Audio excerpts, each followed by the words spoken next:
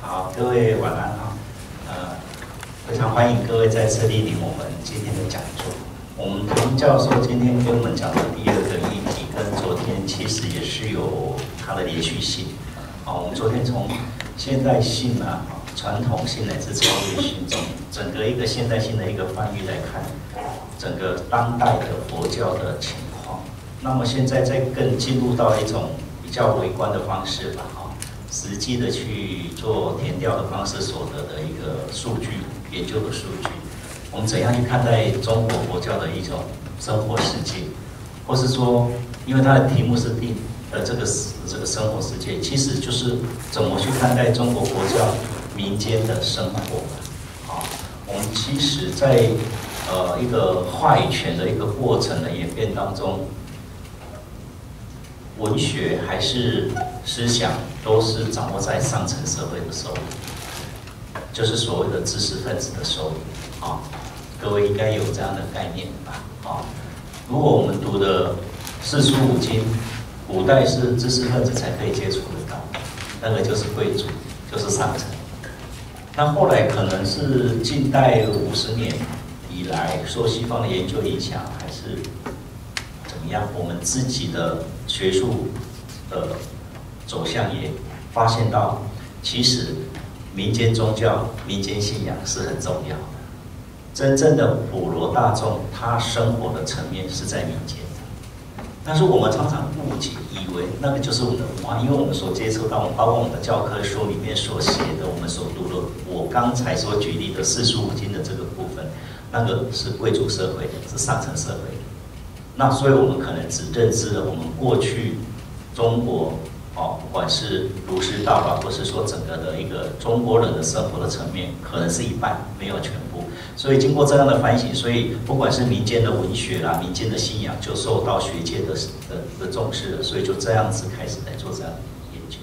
也就是说，其实从这样的面向来看的话，比较能够看到整个。如果我们缩小范围，就中国国家来看的话。比较能够看到它的一个整体面。那么今天我们唐教授就是要从这个角度来给我们介绍这样的中国佛教，它在民间的这样的所谓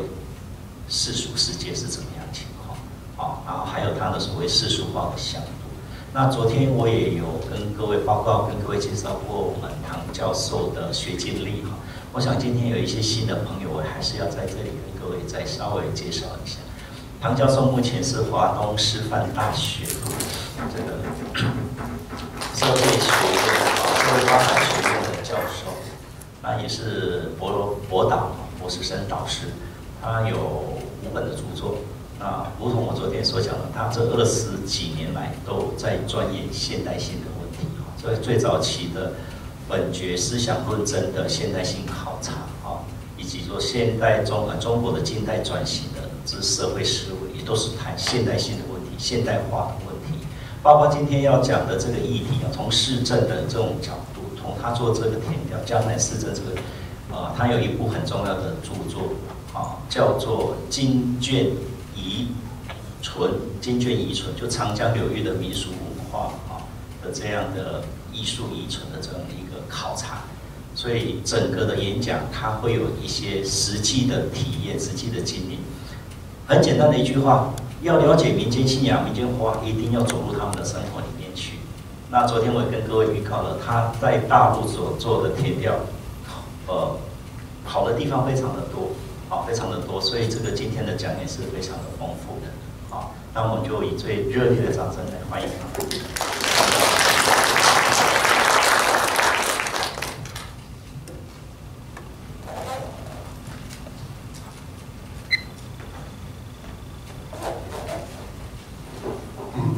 尊敬的这个陈教授啊，各位老师和同学，啊，我们这是第二次来跟大家进行交流，非常开心。呃，今天因为整个一个白天呢，呃，陈教授非常客气，带我们去玩了很多地方，所以一直处在一个运动状态哈，很长时间没有这么大的运动量，及可能有点小疲劳。然后我我我想在这个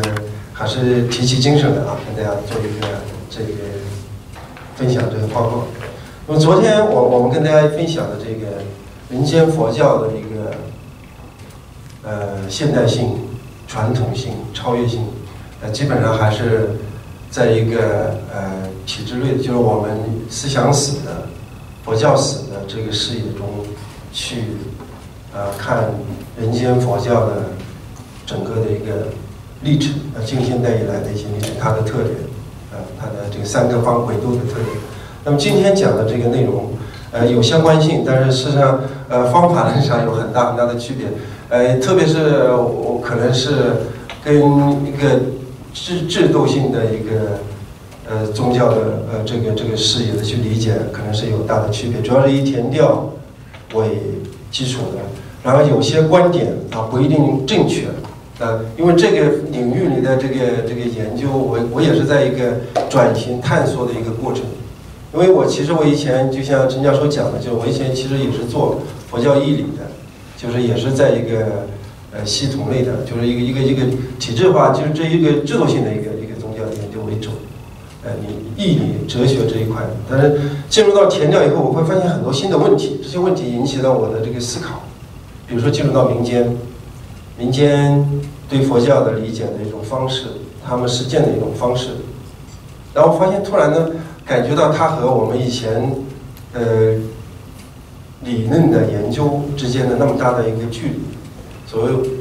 导致了我对这个问题的一些反思。当然，这种反思就可以追回溯到对整个思想史的反思。就像刚才陈教授所讲的，其实我们教科书也好，我们的所看到的阅读的文献也好，这就是所谓的大传统啊。当然，有人对这种大传统精英。导致大乘统有有有他的反思啊，比如说说明这种呃，但是我们会看到，事实上，我们看到这些精英的这个大传统，其实它是如果从人数上来看，就是非常非常小的一个一个一个群体，百分之一，我这个可能都是讲的多哦，可能都没有都都很小很小的一部分人在做这件事，那么大量的民众的生活事件。他的思想世界其实都是被我们忽略掉，啊，当然这个有它的一个原因，它没有通过文本的形式保存。但是我们到民间去一看，民众究竟，我们佛教信众的百分之九十以上的这个信众他是怎么生活的？他们是怎么理解佛教的？他们是佛教怎么去建构他的日常生活的？我们会发现这种方式跟精英的这种义理的理解的方式相去甚远。那我们知识分子，我们都很容易从一个理论的误入的一个一个一个一个角度去理解，比如说我们对缘起的理解、对空性的理解、对般若的理解，这个没问题。但是民间它有它的玩法啊，民间究竟是怎么去理解这些东西？那么这个这个讲的，我想跟大家分享的可能就是这个问题。那么首先，呃，佛教的民俗化和民俗化的这个佛教。做一个概念的分析，然后我们主要看一下，就是从一个佛教中国化的一个视野看中国佛教的一些民俗化的向度，然后从中国佛教史的一个角度来看整个的这个佛教中国化民俗化的一个向度。其实这个佛教的这个民俗化和这个民俗化的佛教这两个概念哦，这个也不一定很成熟。佛教的民俗化。我在这里所指的主要是一个制度性的，这当然也是用这个杨清坤的这种定义的方法啊，这种呃 institution 这个呃 religion，而这种呃制度化的这个这个这个宗教，其实它在一个进入到民间的一个过程之中，它有一个民俗化的转向。这种转向其实不是佛，不光光是佛教，基督教，其他宗教都有这种现象。啊，我曾经和一个美国的一个神父。啊，我有我们一个朋友叫，呃，这呃呃 L Duke 是那个富罗神学院的，啊，当然我们在聊天的时候他就很高兴。你看，基督教在中国大地啊，到处都普遍开花，啊，其实是的，在西藏也好，新疆也好，都有大量的基督教的新生。呃，但是我告诉他说，你真要去跑下去去了解这些基督教的这个现状，啊，特别是偏远山区的基督教的内容。呃，实践的民众的底层民众实践的时候，可能你就高兴不起来。为什么呢？就是这些佛教的生存状态跟佛教一样，到了最底层的形式啊，很多它也不是从义理去误入的，啊，用一个不是学术化的词啊，叫迷信，或者说用这迷信不是一个呃纯不是一个很啊，地道的学术化的语言。但是就他们底层的进入的方式是一种非义理性的，是他们比如说有末世论的，比如说为了治病啊，啊，这这种种大部分是这样的一种一种进入的方式。那么，呃，我们理解的这个，我个人理解的这个呃佛教的民俗化啊，主要是这个受民间文化、民间习俗影响而形成的一种信仰实践的一种形式。而这种信仰实践的形式，它并不是完全从一个意义角度去理解，它也没有办法从义理角度去理解。你跟呃有些底层民众谈空性、谈般若，他听不懂。我就像昨天讲，他《金刚经》放在家里是辟邪的，他抄经是积功德的，这一点不不不好笑，这真正的一种当他们自己的本然的一种状态。啊，他们主要一个是灵验，一个就是叙事。这个叙事这个概念很重要，对于民间的呃信仰的建构来说非常重要。你比如说我们中国，我曾经查过一个，呃，大部分的寺庙为什么这个地方烧香的人多啊？很灵啊，因为这个大家都在传，通过叙事的方式，各种各样的叙事，有宝卷啊，有民间的各种各样的故事。这故事本身真实性有是不是真实性没问题，肯定不管它是不是真实，它达到了一种叙事建构灵验的一个结果。你比如说。呃，大家如果在网上一查查建文帝这个人，因为这个人本来在历史上也是不了了之，不知道去哪里的。但是你会一查，你会发现有几百个寺庙说建文帝去了他的寺庙，他寺庙都说建文帝到我这里来，曾经怎么怎么怎么样，就诸如此类的。就是说，越是这件事情历史性不可考，他越可能成为叙事的一种对象。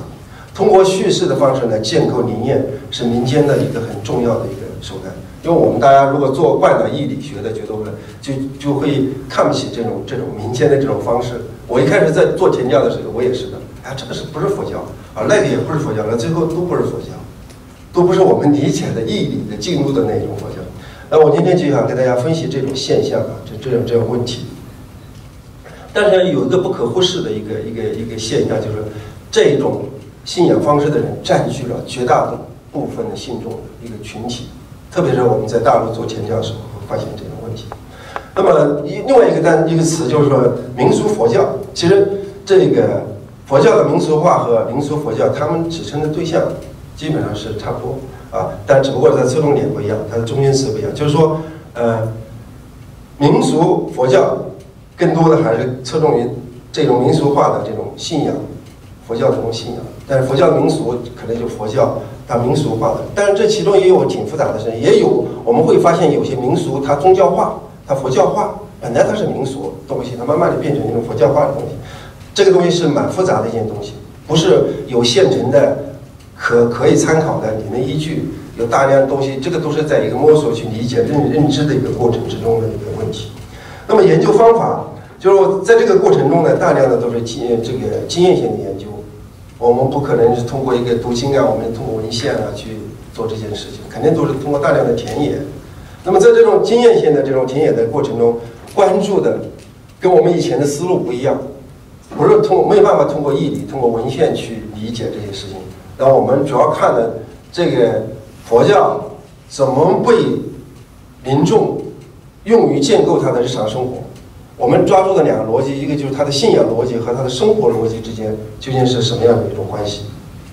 大量的这个信仰逻辑其实是跟他生活的逻辑密切相关的。我们经常跟学生讲，你要做一个呃乡村的一个田野的东西，你去研究他的信仰状况，你一定要去考虑他的生活逻辑，这两件之间是相互影响，所以然后呈现出来一种特征，并不是我们教科书上讲的那样东西，并不是我们印尼佛教所理解的那种状况。所以会有很多新的现象问题，会颠覆我们呃常以前的这种认知和看法。那么第一个，我我就我想表达的就是从这个佛教中国化的这个多重向度来理解佛教中国化的一个走向。因为我们一般都讲佛教中国化，但是我个人觉得，就佛教中国化应该从这三个重要的维度去理解。第一个就是思想观念层面，这个观念层面我们做的最多，思想史方面都大量的研究，如儒释道就三家关系嘛。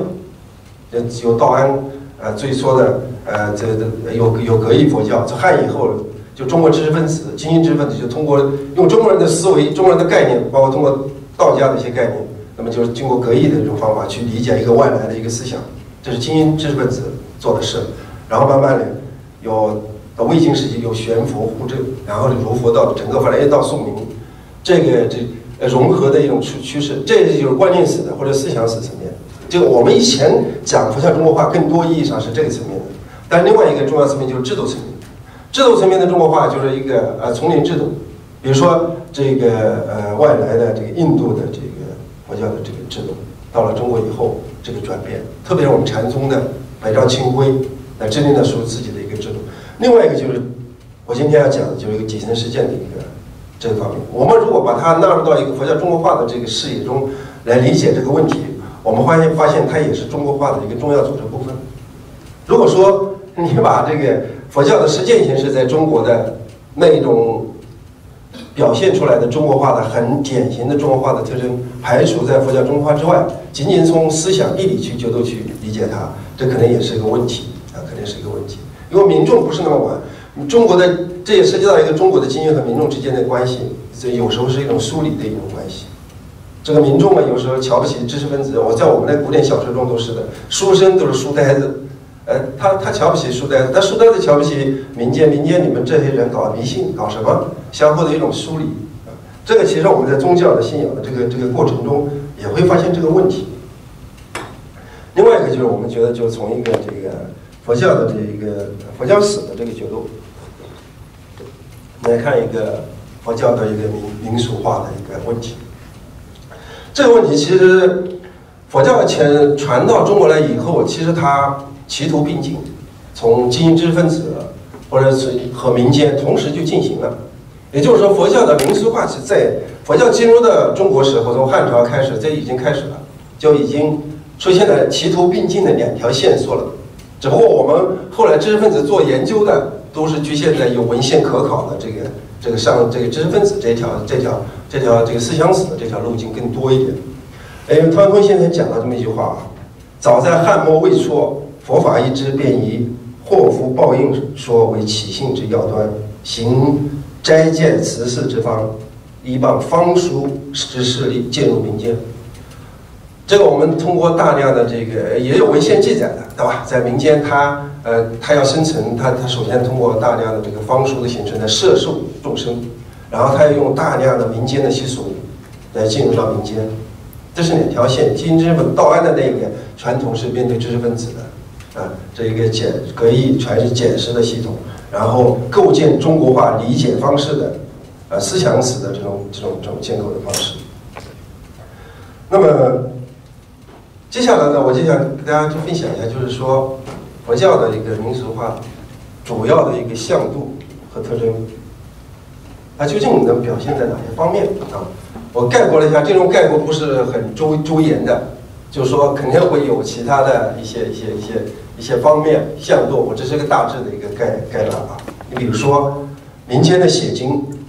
民间的写经，呃，最开始写经的目的是为了去传播嘛，是做一个文字的载体传播。当然，我们会发现一个问题，你比如说宋的这个雕版印刷以后了，大量的经可以雕版印刷了，当然它仍然有民间的这个大量的写经。然后我们在敦煌的那个、那个、那个写经卷子里面，很多那个、那个、那个、那个、那个、那个呃伪伪记的时候，都都就都有注明很清楚，写这个经目的是为了见王，为了是积功德，都有明显的、明确的有这个记载的。那宋以后的大量的民间的写经呢，它是积积功德。呃，唐是当然，宋之前也有，像唐武则天，武则天丈夫死了，啊，他写了。找人请人写了很多经积功德见王的一种方式，那这种方式呢，呃，跟我们对于呃我们写经是去传传递佛佛法或者去理解佛法，这是不一样。还有抄经也是的，抄经，呃，写经抄抄经，因为大家都知道，后来有这个有有有有职业的写经僧，也有像以前的这种呃庙会的那个那个道口都有一个呃民间的写经僧。你要去问他买一个经书都可以，他抄一个经给你，然后你去供养给这个寺庙里。但这个写经目的，它也不是为了传播，而是一种功德的一种表现。还有诵经也是的，诵经诵一遍经，他认为有功德。所以他这主要的目的，这民间的这这种这个向度，它主要是为了一种消灾、求福、积功德的这种方式啊。当然，这种啊还有造像。那到我后面会有一些呃图像给大家看一下。主要是这这呃六个方面，还有就是民间佛教神和民间神、地方神这种换位。所以我们今天看到的，其实在民间信仰中它是不分的，如佛道是不分的，崇拜的对象也是不分的，啊，因为呃它的呃在在这个这个佛教的这个民俗化的佛教里面也是的，它有道教的东西，有地方性的东西，地方神东也有也有其他的神的这个这个崇拜方式，甚至有原始崇拜的进入到寺庙里面，在民间，嗯，他们是可以接纳的。另外一个就是说，民间日常生活节令习俗中。有着大量的民佛教民俗化的这个身影，啊，还有今天我们在都市也好，在乡村也好，有大量的是我们日常的民俗生活中的一个重要的部分。比如我们在上海，我们一直一到佛诞日的时候，观音菩萨成道日的时候，那个寺庙周边都戒严的。那那些人去，他是不是佛教徒呢？也不一定是。我们做了大量田调，大部分人都不是佛教徒。你比如说，我有一次就问的那个一个出租车司机啊，出租车司机说啊，给他老婆打电话说今天去有没有去烧香？然后我问你，我问他你是佛教徒吗？不是的，但是今天是观音娘娘的生日，对吧？肯定要去的，就是这这一种理解的方式，就是成为一般民众的一种一种一种生活方式。另外一个，你比如今天呃戒王法会，金王法会从明清以后非常盛行，民国时期非常非常的盛行，呃那个时候在上海它也是的。呃，整天街大街上都是敲锣打鼓的，呃，他们是呃，特别是大户人家，他认为要通过这种方式去表达他的呃身份，或者是，当然他也是也有民俗化的佛教信仰的这个这个特征在里面，还有放生，放生这种现象，当然最初呃中国的本土思想中也有放生，儒家思想从、道家的这这这思想，众生的这个。呃，现象放生有，但是真正激激化了放生作为一种民俗现象的，还是佛教进来以后，大量放一直延续到现在，放生成为一个社会现象，成为是一个社会问题。呃，另外一个就是说，来源于法会道场的一个宝卷，宝卷现在在，因为中国的宝卷现在有人专门作为宝卷的研究，就民间的，最初是来源于佛教的法会和道场，呃，我们长三角就五方言区的宝卷。还有这个河河西宝卷，还有建修山西的建修宝卷，这三区的分区这三个方宝卷。但现在呢，我们调查下来，无方言区的宝卷，它的宣卷仍然在进行。建修宝卷现现在基本上已经没有了，都成为一种呃呃非原生态的，就是大家在一起凑热闹。农闲的时候，呃，也不是家里面有有什么事去请这些先生来做宝卷的。但是在无方言区，我们调查的有些地方一直保持了这种原生态。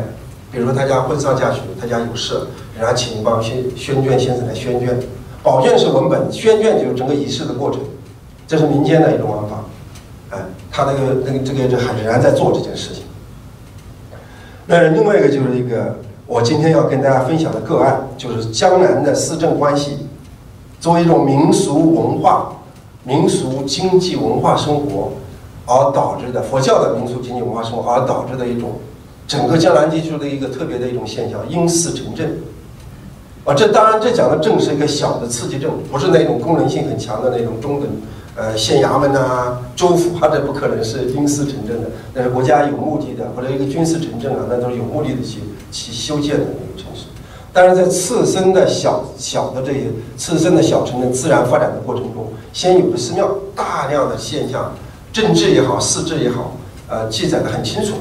先有个寺庙，然后围绕这个寺庙，通过这个民俗经济的民俗文化的活动，通过宗教文化的功能，使得这个地方成为一个集镇，而且这个集镇就以这个寺庙命名，这个太多了，在江南地区太多了，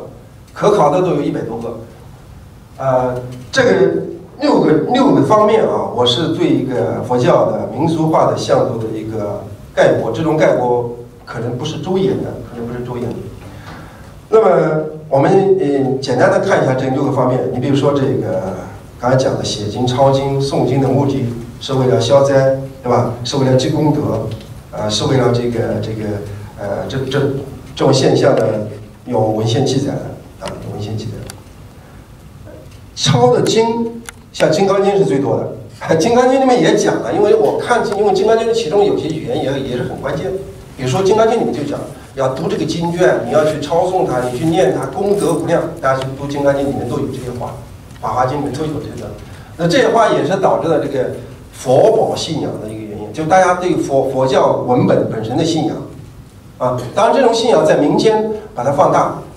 那今天我跟陈教授也在在聊一个事，就惜字，对吧？农村这个这都有点类似的。呃，农农村的有些这个底层的农民，他没有文化，但是他很尊重写写了有刻了有文字的那个纸惜字。他以前有专门有人去收集这些字，然后把很好的去尊重这些纸，处理它、烧它或者埋着。就惜字社有惜字会啊。但但民间对经典的这这些东西，当然它有法有这个经典的依据。你像《金刚》里面就说了，你你要读它，你去供奉它，你去抄它，功德无量。当然也有这些话。但是到了民间会把它放大。我们看到《太平广记》里面就讲了讲了因为你写经有得到好的报应的这个地方，就有七卷之多，大量的东西都记载这种灵验的故事。呃，关于民间造像也是的，民间造像这个是一个写经，到民间的写经，我们会看到这个对一个波波罗蜜多心经的一个这个书写。但是我们看到在这个写经的这个右边啊。这个民间的，呃，有本来这个《金刚经》都是讲这个，呃，是大般若部的心要嘛，呃，讲般若空性的，讲五蕴皆空的，讲对空性的理解，以无所得故，无有恐怖，原理颠倒梦想，究竟那个讲空义的这这很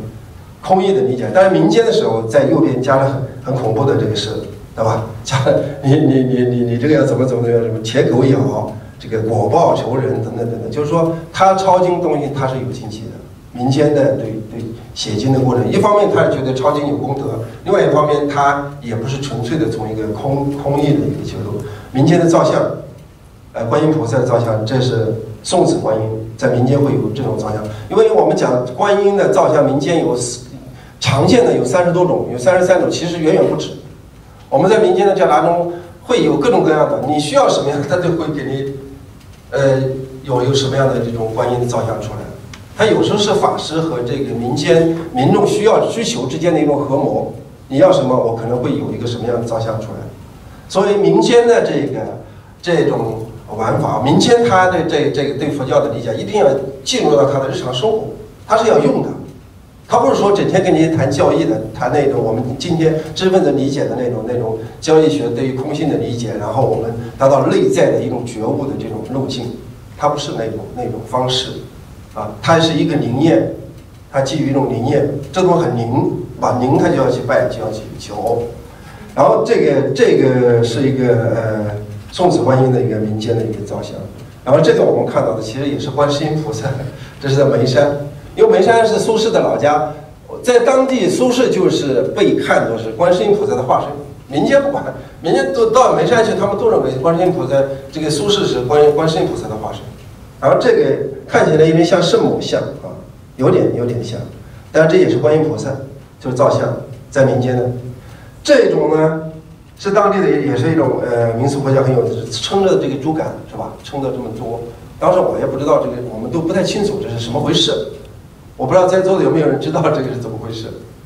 为什么在这个寺庙的下面撑这个竹竿？民间的有没有人知道？实际上说有没有知道？这个东西很奇怪，我们当时都不太清楚这这这个现象，因为他们这个很很怪什么？就腰痛，谁谁的腰如果疼的话啊，他就在这个佛像的下面撑一根竹竿，他认为撑一根竹竿这个腰会好起来，当地的一种风俗。不可思议是吧？但是，它进入到这种佛教的一种民俗化的一种一种。然后这个这个是我们一个中国社科院的一个老学者啊，杨宗文，你应该认识的。他他腰说他说腰不好，他要去弄个竹根去查一下。就是说这个呃民间这个佛教的神第二个这个特点，我们再把它展开一点，就是佛教的神和民间的神因为互互换位，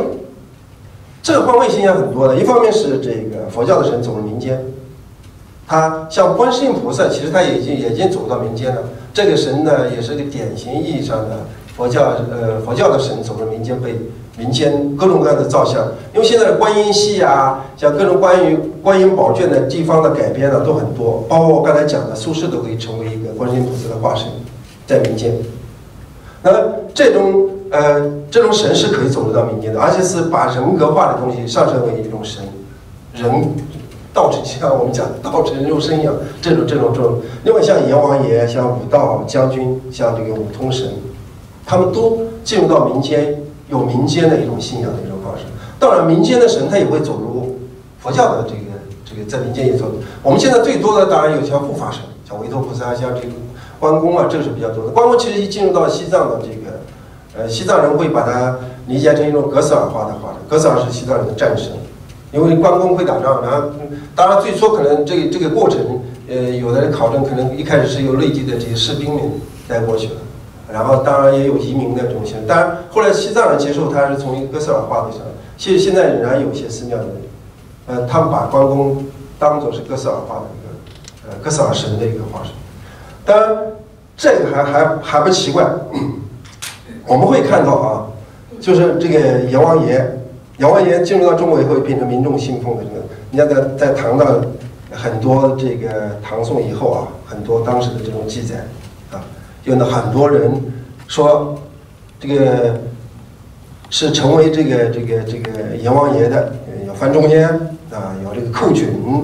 这些人都会成为阎王爷的化身啊。这在民间的这种这种理解的这个这个过程中。那么，现在这个很多的寺庙里面，它有供奉地方神的，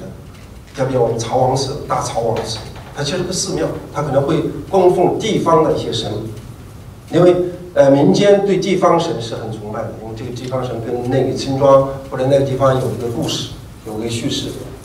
他曾经呃庇护了这个村庄，或者是有怎么样做了怎么样事，那么他会供奉起来，像土地神。三姑神，这也在长三角里面都有供奉的。这个就是我我我们看到在这个上海的一个一个真如寺，真如寺里面这个树呢，也其实也挺有意思的。它这个树一开始有五六百年了，啊，据说是是六百多年，然后中中途死掉了，死掉了呢，就是整个是现在我们看到里面是水泥的，中间的黑的都是水泥的，水泥的撑起来。它以前整个树都死掉了。后来奶奶给老方丈，那这个树又活了，这活了呢，然后这个树就成了神树了，然后这个很多人到这个寺庙里来呢，其实是拜这个树的。那这种现象也不是一个个案，我到那个西安的这个这个这个这个这个这个少华山的那个卧龙寺也看到了，它一个柏树抱了一个槐树，柏抱槐，然后这个树很神异，那么很多人去这个寺庙里面说拜那个树，就。这个呢也是的，这个是在网上看到的啊，就在重庆的一个一个形象，一个一个一个岩岩石，这个岩石呢，它的这个形状呢像一个啊，他说像一个人人的一个模样，我们当地人就说这个是很很灵异啊，很灵啊，在民间经常用的是就是灵灵异，然后有一个叙事啊，很灵异，然后很多人都来拜这个树啊，没办法，这个政府出了一个通告啊，说大家你们。呃，感到好奇并为之产生强烈的有观看欲望的所谓呃菩萨显灵，它是不存在的。然后你们别来烧香，也别来放爆竹，但民众不管啊，民众照样去啊。这个类似的，在在在在民间的一种一种对于一种啊信仰的一种一种理解的一种方式啊，是其实是一种常态啊，经常会出现这种情况。当然，这种现象有时候也会被一些人去利用了。你比如说，他弄一个什么什么一个呃形状啊，一个仙人的仙啊，或者是某一个呃在旅游区，他会吸引很多的游客去啊，这是另外一回事。但民间呢，他会对这些东西产生信仰啊，他认为这些东西有灵验的东西，会成为一种信仰的东西。另外第三个一点就是这个民间日常生活中的一种节令的一个习俗，它渗透着民俗化佛教民俗化的这个身影啊，那这个。就是各种各样的佛教的节日了，像我们比如说这个呃佛教的节日，俨然成为一个很重要的市民生活、文化生活，特别是民俗文化生活的一个一个来源，一个来源。呃，云南盆会，当然它都有一个呃历史的一个发展的过程。像现在的观音节、腊八节，啊，像这个呃释迦牟尼佛节，那都成为一个那地方大量的呃。人去参与的一个活动，那么这些活动之所以我们说它是慢慢变成了一种佛教的民俗化或者一种民俗佛教，就在于其实大家去参与这个活动的人，他不是信徒，他或者说他去的目的也不是带着一种一种纯粹信仰的一个一个呃目的的一种理解的方式去参与的，而是把它变成了一种民俗文化活动了。那我们常见的就是这个庙会的这些东西啊。另外一项这个丧葬、追戒亡法会、放生、放生。呃，这种现象其实现在，呃，我我有个研究生，他专门做研做这个填调，就是做这个放生的一个呃规模。像上海这个城市，它其实每天都有很多群体在进行放生，有的是定期的，有的是呃这个在这个佛教的这个特定的这个佛教的节日的时候有放生，有寺庙组织的，有民间组织的，有居士自己组织的。还有藏传佛教的活佛过来以后，这个心中圈里面自己组织的，这个规模，呃，稍微大一点，动辄上千人，呃，几百人很正常，三四个人很正常。那这个过程呢，这个已经是，因为我们一般讲放生，在佛教的这种理解中是随缘放生，就是你看到这个呃动物受到伤害了，一些救度这个动物，去表达一种一种一种慈悲和怜悯，这是佛教倡导的一个随缘的一种方式。因为但是现在放生确实成为一个问题了，因为首先放生有点刻意，大家去这个菜市场用卡车装了很多这个本来是是人工饲养的这些动物，然后放到一个野生环境中去，很快就死了。所以有的大师，我们新闻大师说，这是到底是放生还是放死？这是一个问题。另外还有一个环境问题，还有当然还有的更更恐怖的放蛇，对吧？这个特别有的蛇，它要放到寺庙周边去。这也比较麻烦的一件事情，对对，当然是有的是有毒的，还有这个其他的一种动物造成生态的一种失衡。那这因为还有的我们会看到有些人到学校里面去放，学校里的河里面啊，北大都有人去放，未名湖都有人去放过，后来被阻止了。就是这种活动已经被变成了一种呃很很恐怖的一种社会现象。人们去放生的目的也是很功利化的，就是说啊，为了呃积功德，为了治病啊。啊，或者是为了这个什么什么样子？当然，这个放生这个过程中，现在我们的调研下来看到有很多职业职业化的放生，就是他通过这个这个产业链去牟利的，啊，他牟利的收取钱，他他很熟精于此道，很熟练的，他在这个每个环节中，他去去去去，本来是一件呃很好的表达慈悲心的一种一种一种举措，放生的一种举措。当然，当然，这个这个，因为我今天讲的这些东西，如果是个信徒，我们听起来，我们可能要去从一个一个一个包容的方面去理解它，因为我们是一个客观的分析一个社会现象的问题。那么，呃，做完法会啊，这个是呃我们会看到的。我现在的讲的这些东西，只是客观的陈述这些现象。我再会说表达我的观点，我们怎么去嗯看待这种现象。怎么用于什么一种方式去理解这种现象？这也是我们看到的这个放生的一个场景，大卡车从菜市场买的，然后到江边去放，这个规模还不是很大。我们会看到更大的整桶整桶的那个鱼啊、甲鱼啊往黄浦江倒，啊，这是一个放生的一种现象。另外一个就是我们经常讲，就是这个来源于道场法会的书讲啊、宝卷啊，进入到民间，成为。民间民众日常生活中的一个很重要的内容，你比如说我们去调研的这个常熟的这个支塘，有个地方叫支塘的那个那个村庄，它的宝卷，它的宝卷到现在呢，还不是展演式的，就还不是说像舞台化的一种展演式，因为很多宝卷现在已经变成慢慢变成一种文艺化，就是它丧失了原来的那种信原原原生态的一种信仰的状态。支塘的宝卷它。我们去做前教的时候，他很多人他不让你去的，因为他有一种忌讳的，他家里面有事，他这个不让你去的。当然，这种信信息本身也传达了这种原生态性。啊，他有婚丧嫁娶，他们这个有通卷，通卷就是什不管是红白喜事都可以念的卷，香山宝卷，啊，讲这个观世音菩萨的这个这个妙善公主的这个这个这个故事，在整个长三角中非常流行的香山宝卷。那还有这个婚卷，还有素卷，还有这个草卷，就是在民众日常生活中去用的。当然，这些东西它其实这种民间佛教进入到民间，已经构成构建它的日常生活中的一个重要内容。啊，这里面整合了他们几代人的记忆，那么他们那些那些老人对这些宝卷很有情感的，啊，他们介入这个活动过程中，本身就构成他们一种一种文化生活的一种记忆的东西，就跟庙会一样。你比如说我们上海的那个龙华庙会以前很出名的，然后周旋还有一个歌叫做这个龙华的桃花。然后后来很多上海的这些移民到东南亚的移民回来，第一件事还要去看看那个龙华的桃花。其实现在也也看不到他以前的影子了，但是这种文化的记忆还是很深的。佛教的这个这个民俗化的这种文化生活，构建他们的日常生活，这种对他们的影响是很很大的。这是我们在这个支堂看到的这种呃宝卷，呃支堂的宝卷各种各样情况，它有的在寺庙里面经营念宝卷。有的在这个小的这个社庙里面，有的在家里面，有的在这种社庙里面，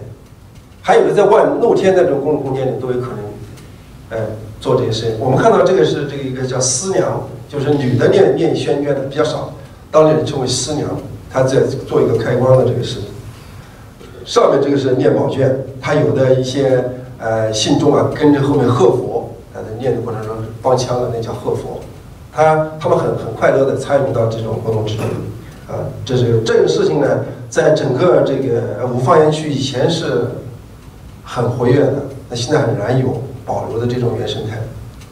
成为他们日常生活中的一个一个组成部分。家里有什么事，婚丧嫁娶这些事，包括买了新房子、乔迁的时候都是这样。我到我们田教的时候会发现，一一家买了一个别墅，他这个楼下呢是用佛教的这一套。宝卷宣卷，楼上呢是道士们在做，同时进行，很热闹。这这种现象呢，他他们认为这个保平安？保保家，我我念一遍，我们这个这个住得很平安。这个东西呢，啊，都是来源于民间的，都是我们教科书、我们我们的义理中可能不会去关注这这个这个维度的。那么他们究竟是怎么去理解佛教？他们究竟是我们要怎么去，又要又要怎么去面对这种多元化的一种一种一种信仰状态？这种我们看到的这个仍然是民间的，呃，民俗化佛教的这个场景啊，有的是在寺庙里面进行的，有的是在一个公共空间里面，有的是在家里面，很他们自己很 high 啊，很 enjoy 的，他们这个整个的过程中就是日常生活中的一部分啊。就是日常生活不像我们去拿一个经典，我们去理解空性，我们坐而论道，我们在家里面去体验禅禅的知识分子所所所最喜欢的那种那那那种禅境的一种体验。他们一定要是通过仪式化的一种方式去表达，然后有有一个有一一群人在在一起去进行仪式化的表达。当然，有很多人通过各个方面去研究这种。啊，仪式化的活动是不是构建他们的能力？是不是促进他们这个社区之间的这种整合等等等等？是不是增进了这个呃上下之间的这个这个不同长辈与晚辈之间的沟通？都有大量的研究，确实我们会发现，确实也是有这样的这种这种现象出现。因为有的这些保健是晚辈给长辈做的，呃，如果他们俩以前关系不好，那么通过这一个仪式的过程有沟通的关系，因为整个过程中表达了呃。这个他对他的一个呃这个晚辈的长辈的一个尊敬啊，这个是一个呃生活化的一个东西。那么呃讲的是比较快的，因为这六个方面呢，第六个方面是我这这这想跟大家着重去分享的一个，有一些个案跟大家一起着重分享的一个，就是因寺城镇。因寺城镇在江南地区的，它呃是通过文化的民俗的。经济生活的这种方式去做的，也就是我们经常讲的相会，相会的一种形式。当然，那是最初的那种相会的形式啊，所以它导致了这一种，呃，因寺城镇的一种一种一种方式。我们上海那地方有文献记载的，你比如说这龙华寺，它就先有龙华龙华寺，后有龙华镇，因为在这个上海开埠之前，有都是一个个的城镇、古镇。现在有些古镇还保留了原来的风貌，像真如寺也是的，现有真如寺，然后围绕真如寺这个真如镇，真如镇就离我们那个学校的本部不是很远，做我们那个调研是很很方便的。静安寺，啊，然后这个七宝寺、七宝镇、七宝古镇、南翔寺都是很典型的，在这个嘉上海嘉定区的南翔寺，它现有一个南翔寺，后来一个有了一个围绕的南翔寺有一个小的古的集镇。而且这个基正呢，就以这个寺庙命名的。其实后来我们发现，它其实也不光光是长三角，北方也有，北方相对可能少一点。然后我们到那个江南的一些村庄里面去调研，村庄也有这种现象。就这个村庄，你比如我们去在南浔那边有一个叫南陵南陵村，这个南陵村呢有一个寺庙就叫南陵寺，它围绕这个寺庙一个构成一个村落，啊，所以那个讲的那个城镇最初可能是一个市级的这这个这个概念啊。所以刚刚讲的这些，呃，我概括的可能不是很全面，不是很周延的，就是关于佛教制度性的一个佛教，呃，进入到民间，它的一种走向，啊，跟我们以前所熟悉的，通过信解行证，通过教义学的理解，然后你去，去又去行有些内在的体证，这个路径呢是不一样的，在民间大量的民众中的是不一样的，民众的一个。呃，主要的一些特点特点啊，他把佛教和日常生活高度的融合在一块，把自己的习俗、把民间能理的秩序的东西和他所理解的这个佛教进行融合。所以民间有民间的智慧，很民间有时候你会发现民间东西它是儒佛道不分，什么神也不分，很杂乱。但事实上，它杂乱的背后是有逻辑的。是是，其实是有逻辑的，就是他们为什么这么做，他们都有道理的，他们都会呃讲的各种各样的道理，这种道理和他的那个村庄的历史文化有关系，跟那个某一个人物有关系，或者跟政治的影响力有关系，某一个权力对那个额外的这个这个这个来自于政治的权力的影响的这个村庄是有关系的，所以在这种方方面面关系的一个合力之下，形成了他的信仰的一个逻辑。你比如他在一个寺庙怎么供奉。供奉什么什么什么，他都有讲究的，呃，所以这是一个民间的玩法。所以民间呢，对一个呃信仰的这个方式呢，它虽然不是通过义理这些东西，它是通过灵验，他喜欢通过用灵验的方式，很容易被他们接受。另外就是叙事，叙事这个概念呢，是一个很重要的。当然，民俗学或者或者这个这个这也是本来也是民俗学呃理解的，进入到民间去理解他们的信仰方式的。信中国的啊民间的大量的这个寺庙，都是通过叙事来建构它的灵验性的。就这个寺庙为什么会，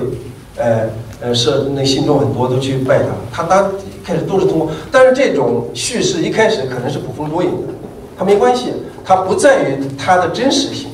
而在于这种呃叙事的它那个落地生根呢，被当地人接受了，它这个信仰也就建构起来了。就像那个香山宝卷，呃，它所建构的这种信仰的这种呃灵验性一样，这是构成了一种民间进行呃实现他的信仰生活的一个重要的一个一个一个一个方面。啊，当然我们看到的这个呃，我们归纳它的特征的时候，其实也是蛮难的一件事情。我们在归纳民间宗教信仰特征的时候，其实是蛮难的一件事。啊，这种说法，呃。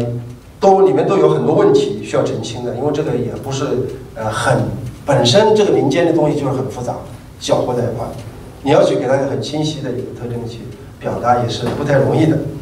首先我我们会看到啊，有的人把这个信仰的方式你分为一种义理性的或者一种民间的一种信仰性的，他们之间的这种区分应该是比较清楚的，因为我们呃知识分子的喜欢的一种方式啊，通过信解行证。通过义理的理解，然后也是重视内在的一种觉悟，也是呃，他认为是切合佛教的初衷的，佛教的这个旨意的意志的，通过这种方式去体达空性，去证证证成这个空性，然后这是一种方式。但是民间他在拜一个神的时候，他有敬畏感。他可能不太懂空一空呃什么是空性，什么是缘起，但他有敬畏感，他很虔诚。当然灵验也是很重要的。那么在这个时候，呃，我我也不是很清楚啊，究竟怎么就是理解这种，就像我们昨天所讲的这种超越性的问题。呃，我们讲超越性有内在的超越，自我觉悟内在的超越的一个东方的超越的一种传统。啊，但民间在面对这个啊信仰的时候，他的超越方式是有一点不太一样的。啊，既然是灵验嘛，他就外在的东西就认为这个神会给他力量，会帮助他，会给他，会拯救他，等等等等，对吧？这是一种一种一种一种一种一种方式，这种方式应该说跟一理性佛教是不太一样的。当然，第二点就是他崇拜的这个对象神的这个高度的混杂性，如佛道不分的。当然，跟有的地方信仰也是搅和在一块的，但是虽然复杂，背后是有它逻辑的。就这，我们在这具体的作为个案调查的时候，都会发现背后是有逻辑的。看似很杂乱的那个那个信仰背后是其实是有逻辑的。这种逻辑来源于呃原因很复杂啊。我刚才讲的，包括这个村庄的历史、村庄的这个叙事，这个包括这个外来的政治权力的这种影响，都会建构它那个村庄自身的这个信仰的这种秩序的这些东西。他们呃喜欢把佛教的这个和民间的这个民俗结合的，通过仪式化的这种展演去表达，使它生活化，使它在生活空间呈现出来。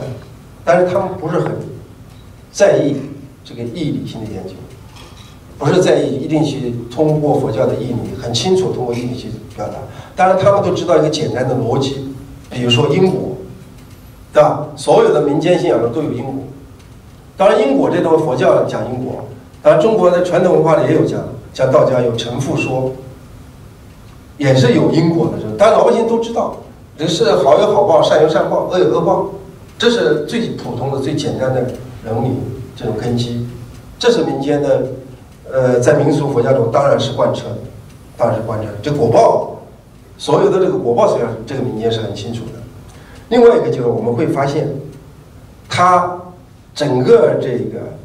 各个地方化的这个呃信仰的叙事建构过程中，都有大量的地方性的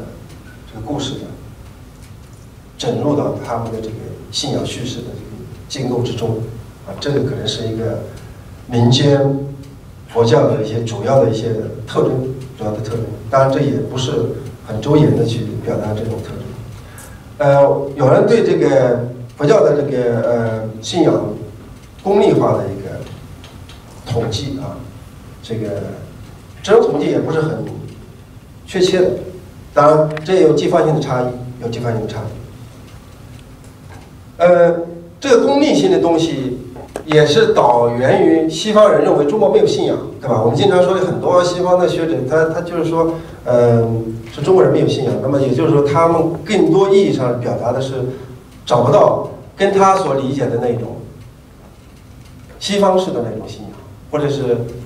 非功利性的东西。但它是不是就是非功利的？这个我们也仔细去调研他们的这个这个信仰的状况，可能结论也不不尽然是这样的。但中国的民间信仰这个功利性的是很很清楚的，很清楚。中国人的这种信仰也不一定一定是对一种超越神的一种信仰，因为我们看到他很多地方神，地方神为什么他敬这个地方神？这个地方人对他有功有德，崇德，对德的一种尊崇，成为他的信仰的一种重要的一种一种一种这种一种一种渠道或者一种一种方式。还有功，崇德重功，某一个人对这个地方有功。那么可能成为他的一个崇拜的对象，所以这种信仰的方式，其实，呃，它不是一种一种一种一种我希望和西方的那种宗教类型下面所理解的那种真正完全超越功利化的这种信仰化，这是中国人的信仰的一种传统。那到民间这种传统当然也是在崇德重功的这种呃信仰。那么。其实我们看到的这种呃民间信仰的这种状况啊，那我个人就是有些对于佛教民俗化的一些这种思考啊。那第一个就是关于这个佛教信仰类型的一个思考。我们都在说信仰佛教，其实我们看到人群的复杂性、人的 background 的这个知识背景都不一样。呃，科学家他可以信仰，然后我们的人文学者可以信仰。然后我们一般老百姓他可以信仰，我们工科的人信仰，文科的人可以信仰，那很多这个这个这个这个退休的老干部他们也信仰，各种各样的人群都信仰。那么他们的信仰他们进入的方式是肯定是不一样的，他们理解的方式肯定是不一样的。这个在其他宗教中也都有，也都出现，对吧？我我们在讲西方的一些自然科学家，他后来导致对神学的信仰。那很多人他他像比如像像牛顿，他们很多人他是在研究在对一个宇宙的理解，宇宙那么的和谐，他最终他会导致到这个一种一种神学的信仰，来追求这个第一推动力的问题。当然还有其他的这种理解的方式，特别是像像你的物理学家，那像科学家，他们进入的方式肯定是不一样的。也就是说，这种，呃，我们经常讲 读这个李于谦的读者一心的哈布莱特，就是这种对，虽然都是对佛教的信仰，但是进入的方式是差异性非常大。我们这个个案呢，如果大家看个案的时候都是这样的，你看很多这个，呃，呃，法师，你比如金刚法师。就八智图陀，呃，这个近代的一个诗圣写，有的写诗，他最初信仰的一个原因，他他小时候放牛，啊，春天的时候看到了这个满地的这个春天的百花都开了，但是一晚上过了，扑这个这个下了暴雨，第二天去看呢，整个花都凋零了，他感到这个人生的这个无常。他他很快，他去出家了，呃，好像呃，我们理解这种人的宗教感是特别的灵敏，特别的敏敏锐敏感啊，就是各种各样的一种现象。有人生遭遇到某一个突发的一个事件，他可能会去出家；也有的是通过很理性的信仰去进入到一种信仰的状态。这个我想可能是不光光是佛教的一种信仰状态，其他的宗教的信仰状态可能都有这些东西。那么这么多复杂的、不同的、具有不同背景的人、不同的信仰方式的人，那么他们进入到同样都是说都是这个佛教信仰，那他肯定有不同的类型。然后对于这个佛教信仰类型的分类呀，本身就是个问题，有时候不好分。你比如说民间的、精英的这种这种划分本身也也有问题。因为很多的那种精英，他玩的也是民间，在宫廷里面，宫廷里面其实他很多他信仰方式是民间的。你怎么是说这个上层的或者底层的知识精英的，或者是或者是这个民众的？民众的也有他很厉害，民众民间的也有他玩的是很精英的，他进入到他对义理的这个理解是非常精通的。我们会发现，呃，所以你有时候你单纯的用一种，呃，单一的这种人群的这种划分，其实那划分类型的时候又存在一些问题。但但是我们会看到一个从什么方式进入的，比如说义理性的知识分子对禅宗的这种自觉自证的，对于佛教的空性的理解的，都我们去理解它。那民间的就我刚才展示的这些维度的学理解方式，那么这里又呢又又有些问题呢。那大家大家相互不服气，那你要如果说通过义理的政策，你就说民间这些东西他们玩的不是正法，我们其实经常叫正性。啊，很多呃时候我们都说要正性，当然正性是非常好。我个人也觉得是知识分子，我们都容易接纳的一种方式，容易接纳的一种方式，正性的方式。那么，其实对于民俗化佛教的态度啊，我一开始的时候，我我我个人的这种，因为我一开始也是通过义理佛教进入的去理解佛教的。我一开始是在做田教的时候，我真的也是不太瞧得起这些民间的，我觉得这这也是在瞎瞎弄瞎搞。但是后来我我的这些观点发生变化，因为通过这个人类学的方法或者民俗学的方法，很开放的、包容的，从一个文化角度的意义上去理解的，你会发现他们有他们的道理，这个道理太多了，原因太多了。那么他的背景不一样，他能够用我们的方式去进入吗？他们很难，他们不可能。你跟他去讲空性，讲般若。有时候很难，他就有他的理解的方式，因为本身他是那一种文化的理解的方式，有他的那个视域啊，因为这个英语英语叫 horizon，他有他的这个 horizon，有他的这个视视域，他理解问题的这个这个视域，所以像就像我们在星云大师中所接触到的一样，我们在讲太虚道星云大师的时候，他们你比如说太虚在当时的语境中，他是要去清理当时的过于鬼神化的佛教。过于民俗化的佛教，他是持一个清理的态度，因为它的语境不一样。当时整个中国的佛教太重视死亡，太过于民俗化，所以他当时的提出的很多理念，第一个在观念史上就要祛魅，然后对这些民俗化的东西，他也是这个主张是做一个清理的态度，重新整理，有一个理性化的佛教的性。但是到了我们现在的语境又不一样，我们现在要搞非遗了，很多东西，很多佛教的东西，很多民间的东西，以前都被称为是迷信，但是现在有了非遗，我们有一个合法的身份，所以我们大量东西又进入到被认可、被合法化。像星云大师，他对待民间信仰，他是非常包容的。就是我还是我们举个例子，你比如说那个世界神明大会，我觉得真的第一次我在凤凰山看到那那那个现象，真的蛮震撼的。各种各样的信仰的这种单单位，海外的、大陆的，各种各样的信仰，不光是佛教信仰，民间各种各样的呃妖魔鬼怪信仰，它都是一个包容的面对，然后有一个大联欢的这种态度，这是星云大师的一个态度。就我们会发现，在不同的语境中，对一件事会发生变化。另外一个就是说，我们对民间佛教的这种态度，其实我们转换一种方法时候，也会发生一种变化。如果我们说我们跳出了单一的义理佛教的这种视野，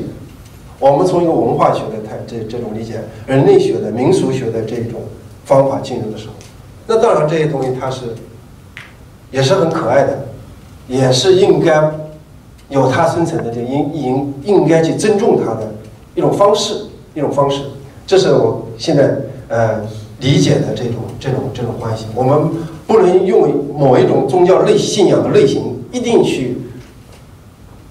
排斥另外一种信仰的一种类型，因为人的多元性的一个问题，就像一个树林一样，各种各样的树木长的形状不一样，有的是很高大，像阳光的地方，但有的它就它没办法像那样的生长的方式，所以我个人觉得呢，用这么一种啊呃方式啊。用这么一种方式去理解，呃，就是这种方式，生态关系的一种方式啊，生态关系的一种方式去理解一个呃多元生态关系的一种佛教的一种理解方式，或者说所谓的解决方案。其实这种多元生态关系的这种理解方式呢，其实它不光光是佛教，那么也可以适用于其他的这种宗教。因为我们看到其他的宗教在实践的过程中，它也是差异性很大的。就像我们看到的这个佛教的精英的呃信仰实践的方式，到了民间，它完全不一样，不同的人群中不一样。那么这个如果说把它作为一个多元生态关系的这个信仰生态关系的这种方式去理解它的时候，那么我们会发现啊，最这这像一个金字塔一样，这里最顶尖的。那是大师，虽然我们昨天讲了这个般若智慧、善巧方便度高度的融合的一种方式，这是一种方式。那一般的民众在中间的这种方式也很多，就我们讲的这种居士的这个这个这个群体的这种方式，啊，他们去理解佛教，他们也对教义学也也有理解，也有理解。他们这些人呢，往往是连接下面。一般信众的这有一个连接的功能，这个我们在一般呃很多居士的这种信仰实践的这种方式中，我们会找到一些这种这种感觉。但是大量的基基基数很大的，就像这三角形的底部一样，它是一个数量很大很大的。这个就像我们刚才讲的，那很多人仍然是在一个民间化的一种理解方式，因为这东西是一种真实的一种状态。就信仰的一种状态，它就是这样，就这样。当我们习惯了啊，我们的理解那没问题，因为我们能够通过意理的方式，通过自证的方式、自我觉悟的方式去理解佛法。那佛法本身它也是这样告诉你。啊，当然到了一个进入到生活过程中，不是不是所有人都能够这么去做啊。这是我想表达的，可能是一个。生态关系的一个问题啊，生态关系的问题。那么整个看下来，对于一个佛教的理解，我们从佛教中国化的角度来理解，从实践的这个层面去理解它的民俗化，从一个佛教史的一个角度去理解，从一个信众的差异性的这个角度去理解佛教的一个民俗化的一个问题。其实现在我们讲非遗嘛，其实我们还看到另外一个问题，就是说这些大量的民间佛教，其实它的作为一个文化生产的这个角度来讲来讲啊，它是很重要的。现在这个跟佛教有关的这个这个非遗，这个非遗有的是国家级的，有的有世界级的有几个，还有四个吧。那有的国家级的，有的地方性的，各个地方性的都有，跟佛教有关系的。这个当有的是跟佛教有关系的，不一定是信仰性的，它可能是佛教派生的一种一种非遗。但是大量的，其中绝大部分都是跟民俗佛教有关系的，它并不是精英佛教。因为民俗佛教它有大量的仪式啊，它要唱啊，它要它要有这个仪式的东西啊，它要你要制作一个民俗化的东西啊，一个一个工艺品啊，等等等等。所以这个作为一个民间文化的这个生产角度来说，民俗佛教相关的这个非遗。大量的非都是源于民民间民俗佛教的这种这种艺术性的东西。呃，这是刚才讲的分享的就是说佛教的这个民俗化的主要的一些项目，主要的一些项目和它的一个特征。那然后我想跟大家分享的一个案例就是江南的这个民俗文化经济活动和因势城镇。因为这个问题其实大家研究的很多，有很多不同的这个。当然，我这里讲的这个寺庙主要是指佛寺啊，主要是佛寺。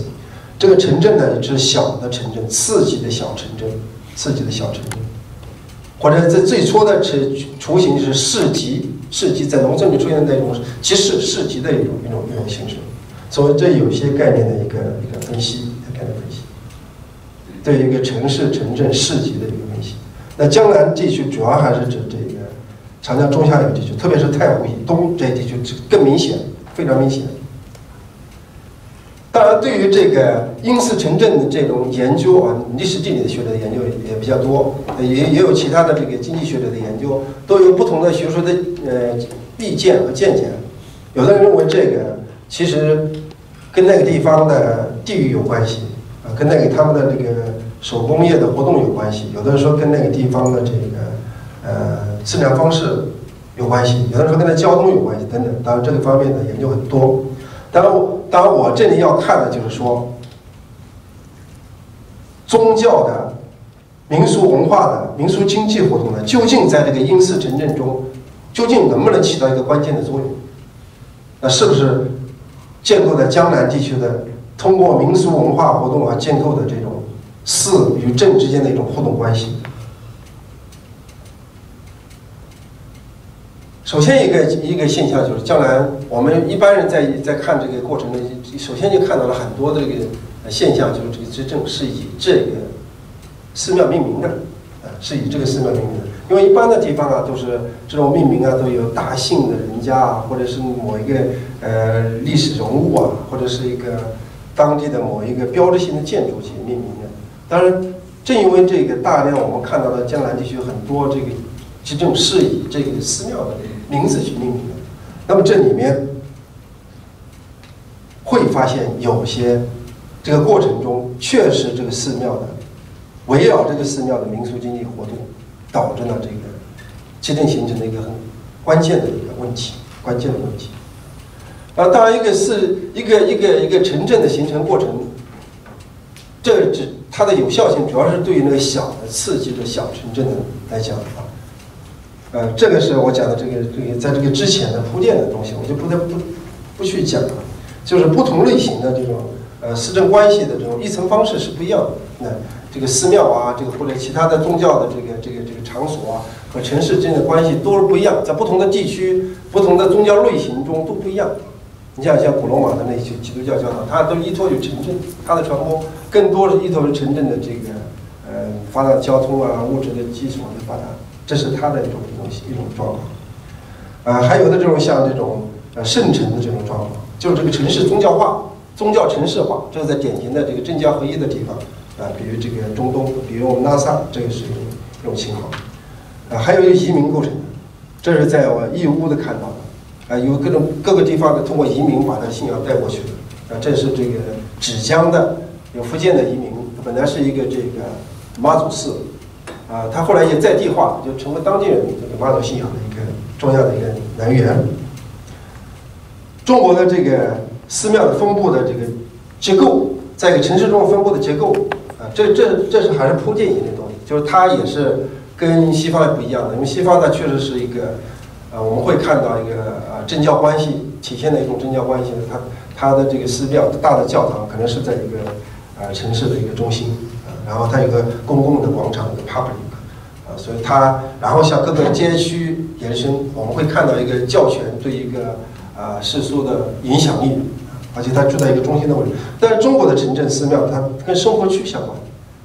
而且中心肯定是皇城、皇宫、政治行政中心，这是不要不要说的。呃，最中心的位置肯定都是行政的这个这个王权或者是政权的这个这个位置。啊，这个我们看到的这个寺院的分布的一个状态。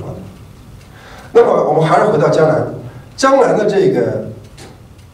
因寺城镇的情况，其实它也蛮复杂。不是简单的，就是说，是一个呃一类的一种一种一种一种情况啊，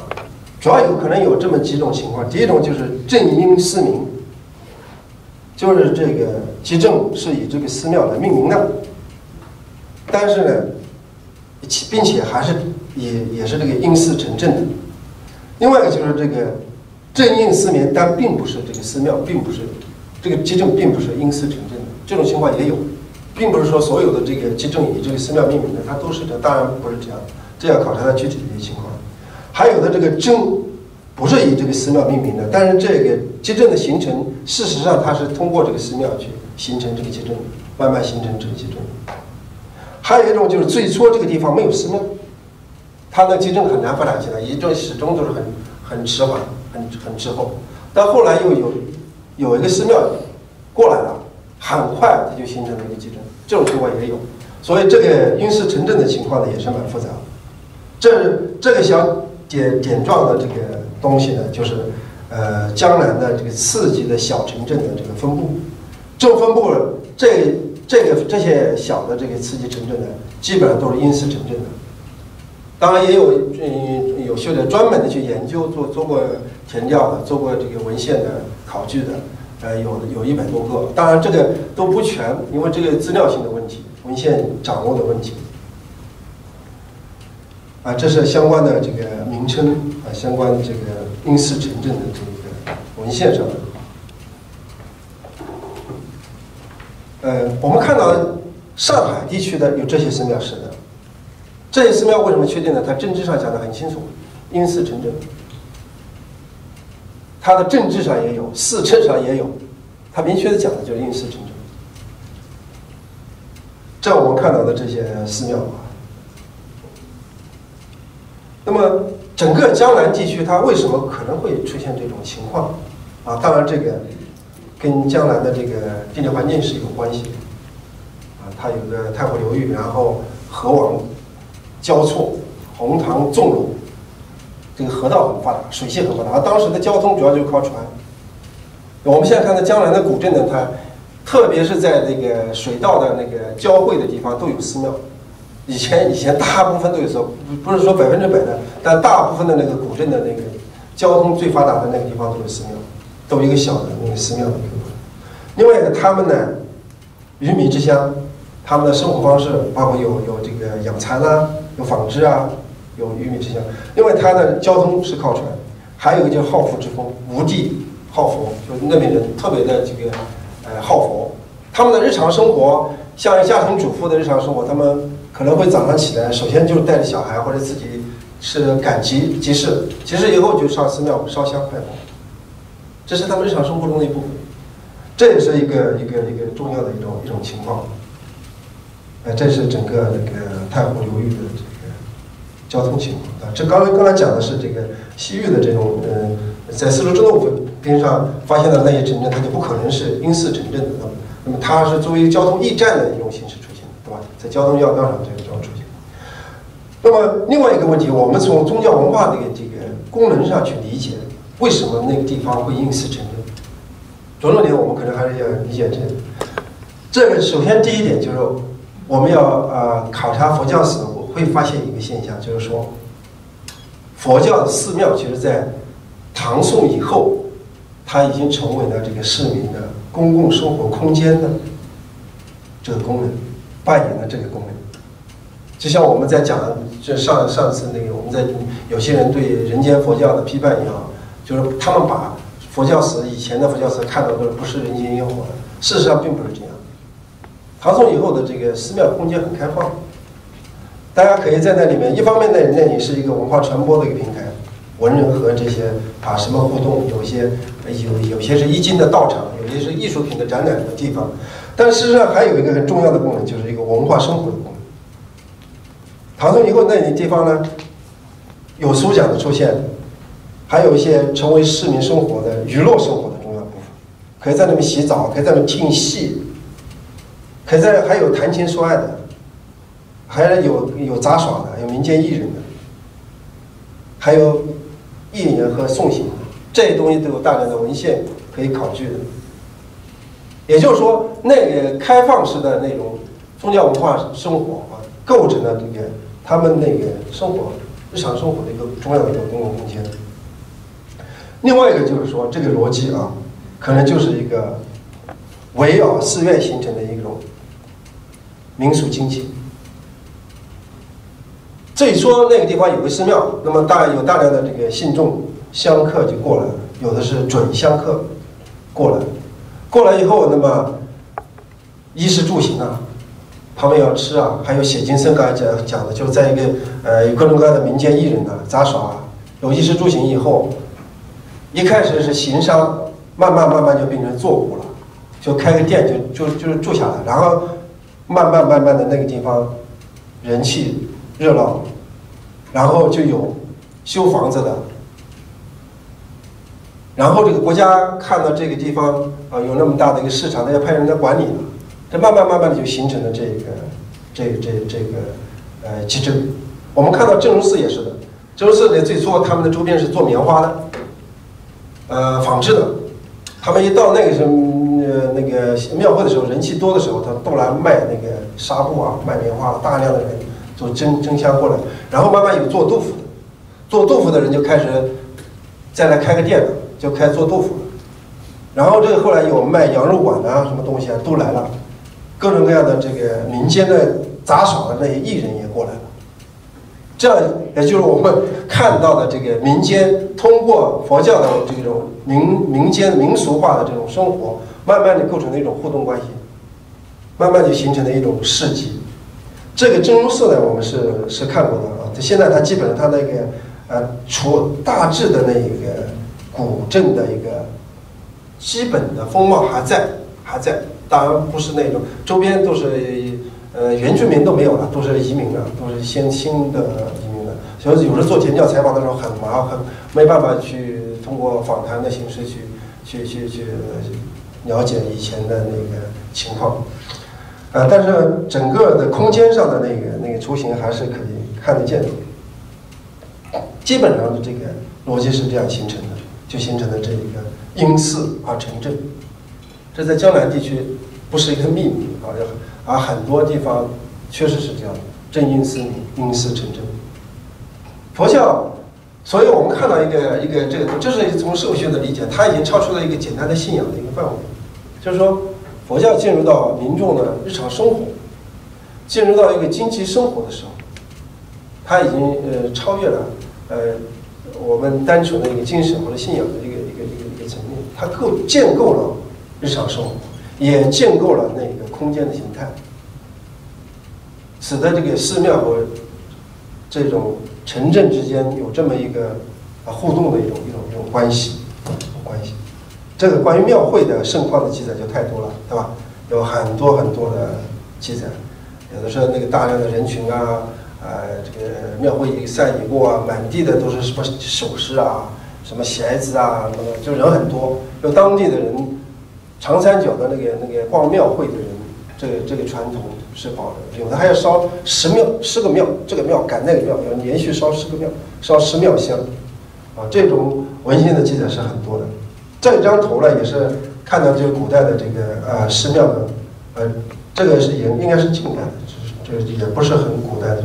啊，这这张图，当然我们会看到这个作为一个公共空间的这个寺庙的这种生活空间，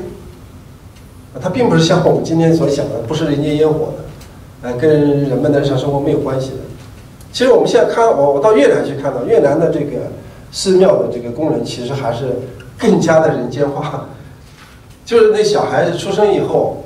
就可以到寺庙去，他有些就要到寺庙去，那一周岁呀，然后上中学的时候。寺庙里给这些中学生提供很多服务的，包括请一些老师来上，包括请一些心理的医生。然后这个寺庙它也是这个村庄的一个公共的一个设施。这个寺庙坏了，是由这个村庄共同来修，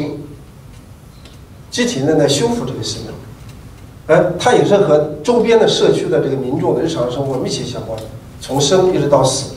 都是介入到他的日常生活。以前的这种公共生活也是这样的，所以导致了这种。因寺成正的这种可能性，这个我们看到的就是这个呃个案，就是我们讲的珍珠寺。呃，这个珍珠寺呢，现在这个呃基本上保留一个古镇的一个风貌。它就是两条大的水系，像我们看到这条水系啊，通过这条图我们就可以看得到，一个是啊梨园帮，一个是杨树浦，这个一红一重，这。两条水系呢，就构成当时的一个就红的点子，红圈子里面就是最初的那个真如寺的发源地。这个发源地我们会发现很多江南呃那个寺庙的那个地方，那个桥都叫香花桥，它都叫香花桥，就是那个香香会，在寺庙前面的那个那个叫香花桥。然后它的一般的这个基正的这个形成是从那地方发源的。当然，具体的基镇的这个发源的这种形态是不一样的，有的是长方形的，有的是可能是一个正方形的，或者像有的可能向某一个方面、某一个角度去去延展，这个是有具体的情况出现的。但基本上从交通上来看，是在水系交往的要道的一部分。因为当时他们出行确实是靠船，如果下雨天的话，那么靠陆路的交通可能不是很方便，要泥泞，或者因为而且这个两个水系是通了当时的这个，嗯。上海周边两个大镇，一个是大厂镇，一个是南翔镇。我那边南翔，我那边是大厂镇，交通很发达。所以真如寺的情况呢是这样的，它一开始那地方呢，呃，有两种说法。一种说法呢，这个真如寺一直都在那个地方，后来也是因寺成镇。因为记得真如镇那个政治上明确的讲的，真如寺啊，真如镇因寺成镇，很明确的政治上讲，寺志里面也有。那么另外一种说法，这个。这个真如寺一开始是在大厂的地方，后来，呃，在大概元代的时候，他搬过来，搬过来以后，这个很快集镇规模形成出来，这也就是我们刚才讲的因势成镇的几种情况。当然，我我们我们现在的调查，我们现在这个文献考察结果，这个真如寺本来是在这个地方，这种，而且它呢也是一个典型的这个因势城镇，然后他就围绕这个呃寺庙。向南北的这个这个方向去，当然，但现在保留在的大约有有一百一百五十米左右古镇的那那建筑，高可能还不止，可能我看这个不不止这么多。这就是一个一个呃因寺城镇的一个比较呃典型的一种情况。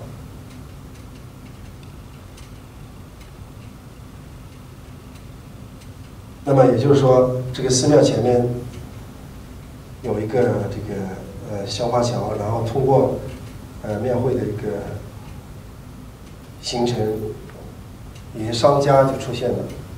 它这个具体的有叫这个呃有穿心街呀，有杜甫街呀，有这个这些东西呢，也就跟当时的这些手工艺活动有关系。啊，这是真如镇的一个情况，真人庙的一个情况。所以像这种，当然现在的真如庙会发生了一些大的一些变化，因为呃，这是古镇的一种风貌，自然这个集镇形成的这种这种这种这种原生态的一个一个，现在都是被边缘化了，现在都是纳入到这个社区的一个很不起眼的一个一个一个一个一个一一种一种状态了，而且现在的这个庙会也没有那个。呃，不可能像以前的，现在都精致化了，有些民俗活动，一些展示的形式，这是我们现在看到的现在的一种活动啊，现在都是一种很文艺化的一些东西啊，呃，有搞搞剪纸啊，有些民俗活动啊，有些丝竹啊，这这音乐啊这些东西，民俗展演这，是现在的一些庙会还在进行。那现在庙会的进行呢，已经不是那种呃原居民去做的一些事，而是政府倡导的东西，啊，纳入到一种社区文化的一种建设的一个一个一个方面。主要是呃，这是对一个寺庙文化空间的一个一个理解，基本上是就是分享这么多内容。因为今天有点疲劳，所以这个呃呃分享呢肯定很重要。如果大家有什么问题，我们再做交流，好吧？谢，谢谢。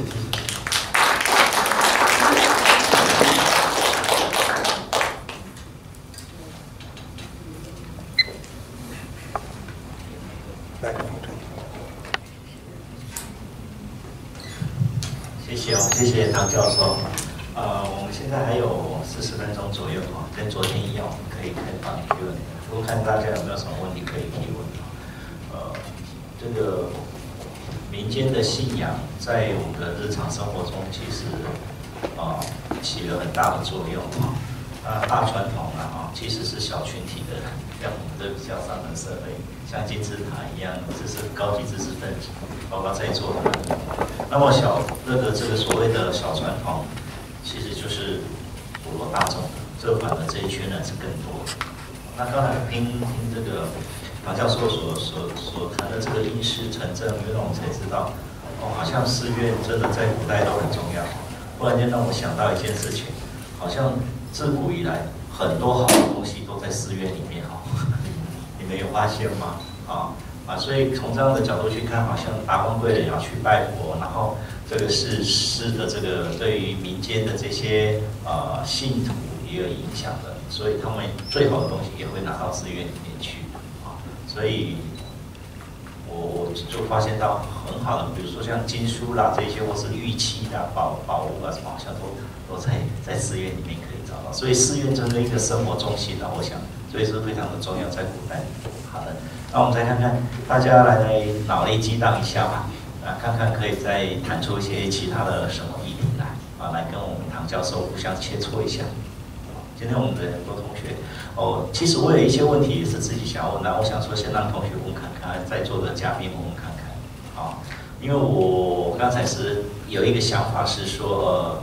唐教授在举的这些例子，你跑了这些填调，但是你怎么样？因为你也呈现了一些照片嘛，哈。我想都是你当地炮，那你怎么样去面对这一些人？在做填调的时候，在访谈的过程中，你怎么样去去访谈他们？这就是技术性、技术层面的，你怎么操作啦？所以说，可能我们要知道这一点。啊，好再来有没有？好，这里。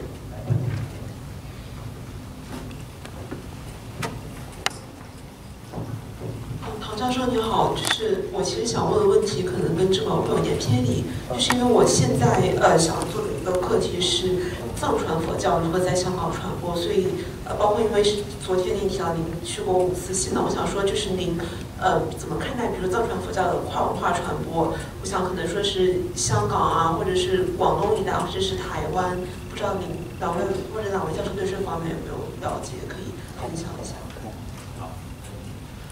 要一直就这样回答，还是要说几？就这样，先请回答。那个，因为这个话题，今天跟大家分享的话题肯定是比较偏啊，就因为大家可能嗯不是，呃，我不知道大家的的这个学科背景怎么样，因为可能更多大家是一个义理，呃，做义理的多一点，或者做思想史的多一点。那陈教授刚才讲的那个几个问题啊，就是这个填调的过程中，其实有很多很麻烦的一件事情。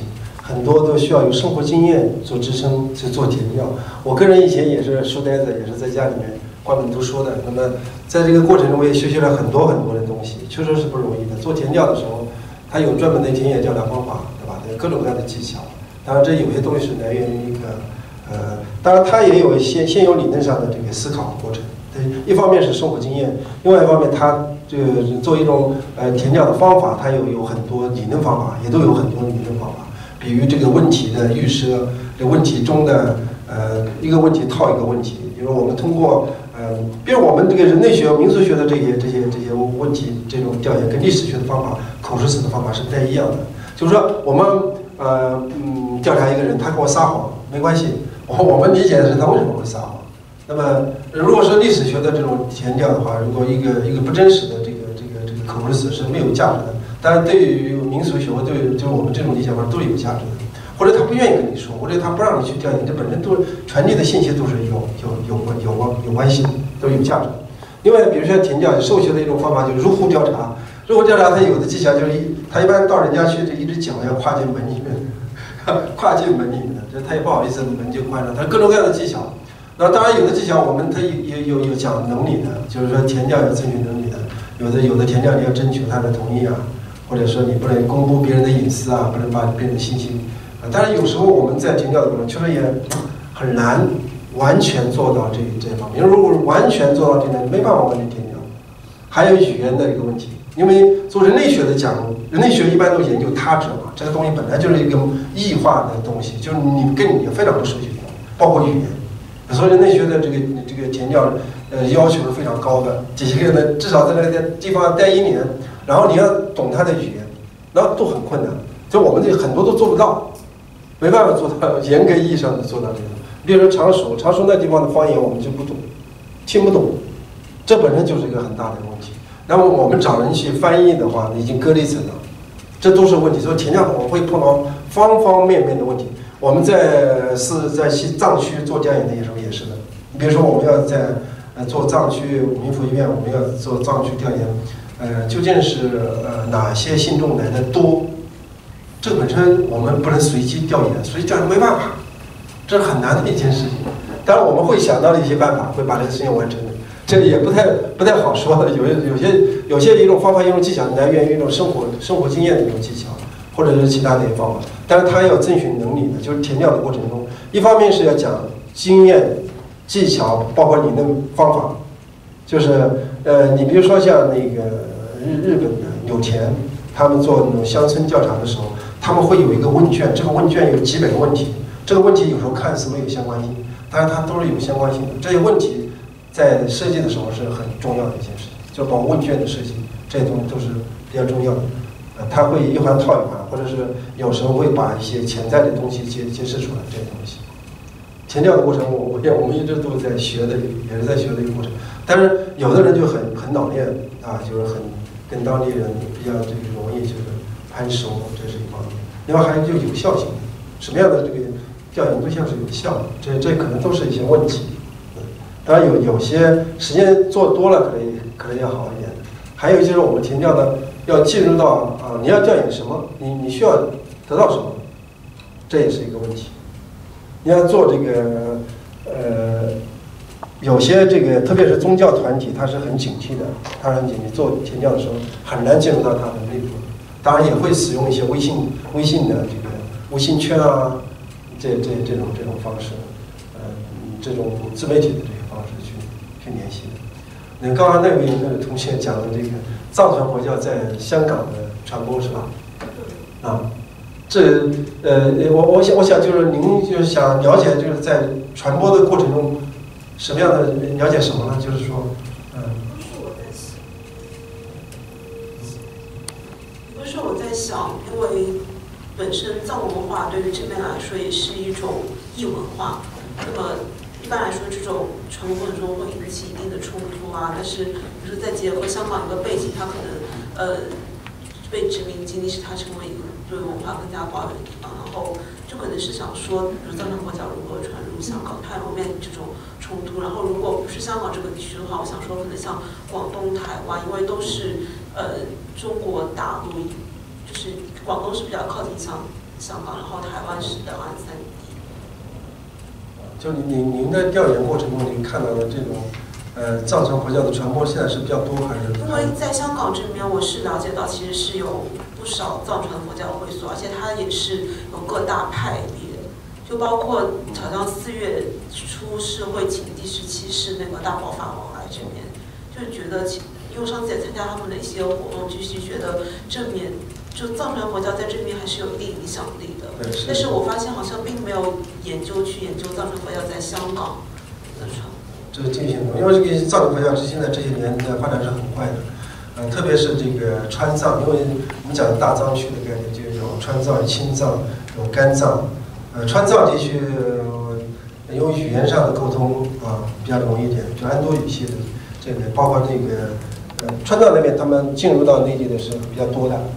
呃，甘藏，包括玉树、果洛啊那边过来的都比较多的，但真正的卫藏的这个这个过来的相对要少一点，这可能是语言。另外就是这个这里可能涉及到很多很多很复杂的问题，包括我们的填调的结果看到的是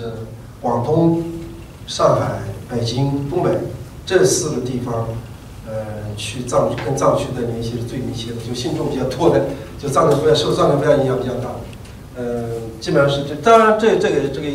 呃原因，我我们会也会有一些结论，有有会有一些。另外一个问题就是说，呃，呈现之所以这个藏传佛教呈现一个复杂问题，呃，蛮复杂的一个问题。一首先我们看现在，因为呃汉藏两地的交通现在解决掉了，对吧？那个贡嘎机场过去都很方便，然后这个火车也很方便，就跟跟传统的那个汉藏两地的，呃，很难很难的这交通就本来就难出现的这种这种交通，所以现在交流很方便。另外一个问题就是一个转宗，转宗也是个很重要的问题。所谓转宗就是说，呃，汉地的信仰他改变信仰了，信信藏传佛教了。呃，这里有很很多反思呢，有的人认为是不是这个。呃汉传佛教为什么它的信仰吸引这个吸引力会降低啊？是不是宗教自身的一个问题啊？嗯，但是呢，呃，我们也会看到像人间佛教的这个传统，就给佛教找到自身的一种自信。那人间佛教的让让人真的是感觉到这个汉传佛教的一种自信心，给人以信心。我觉得首先给人最大的一个信心是信仰的信心，让人信仰有有信心。哎，我觉得这个是最大的一个信心啊，给人以信仰的信心。呃，那么现在这个这个这个藏传佛教的这个原呃这个这个确实是一个蛮蛮复杂的情况，因为它自身的信仰的一些特征，包括它的私传的一些特征，都吸引力也是蛮大的啊。加上它的呃自身的一些一些一些教法上的一些特点，对于某些群体的影响也是。然后我觉得，如果进行这个课题的话，可能是你有个切入点，就是究竟是要做哪方面的一个问题。可能是这样。好，这个比较麻烦、比较困难一点，就是我们知道本身显教跟密教是不一样，而且密教它整个网络是潜在下面的，它的信徒是潜在在下面，所以你根本没有办法从表面去看到它。它因为它是必须要师承的，然后上师，那这些东西呢是他们自己有下面的网络，而即使在西安的有一间很重要的的藏传呃这个这个。叫什么？上次我们去拜访过，在西安也是一样。我听说他们的整个哦，他那个我们表面上看不出来，但是他底下的那个信徒的那个网络都是非常的紧密的。那所以你这样子你是看不到。这包括说我们在做填调的过程当中，当然唐教授知道，这这这指指出来，有些东西他是不愿意跟我们讲的。你要去跟他访问，他根本不愿意，因为他有他自己的秘密性。其实很简单，第一点，他的财务问题。任何的不管公司好或是私人，他绝对不会让你知道这一个。所以我们在台湾做填调的时候，一到进去第一单就是要台语讲叫“我刚进”，就是说你要跟他有感情上的交流，要让他信任。不然举到说，那么你跨进去，那个是一个强迫性的，他可以把你关起来，把你的那个那个讲了。所以有时候是很多困难，这困难就是你第一次、第二次、第三次、第四次，他第一次去可能他不不理你。第二次可能他稍微讲一点，第三次开始熟了，他一直讲，第四次再去他不让你讲，然后第五次去，可能你再谈一个议题，比如说我去调查一个背公的问题、博公的问题，可能来了他们这个地区的四五个，啊都来了，叫在在在镇长教的一个比较大的一个一一个一个客厅里面谈，他们彼此还会呃怎么样，就是说。呃，也简单讲，彼此歧视对方所讲的，你讲的不对啊，我讲的才对这样子，所以种种的这一些都是一些问题。那藏传佛教在香港的这样一个田田野调查，坦白讲不容易做，而且你要看你是还有他有派别，红派、红派等等这样子。所以刚才呃唐教授说，可能看你的主轴在哪里，你的重点在哪里，只能够一个切入点去做，才慢慢才从一个从小而扩大，小题大做。啊，要不然从你刚才所问的题目比较广泛性的话，坦白讲真的很难，不知道如何切入，可能先要产生一个问题意识。好，讲到这有谈想到一个问题，就是其实填掉，因为你光是这样去做的话，你其实会被你所调查的对象混淆。所以我们的很重要的一个辅助作用，就是我们还要有文献的辅助。所以其实今天唐唐教授用了很多文献的东西，你们觉得好像谈讲这些共享无感，不是那个才是一个。就是双向的一个进行，你们知道吗？啊，所以如果说你们要去真的走到第一线去去做填调的话，这样的一个基础功或者所有前辈知识，一定要都先做主，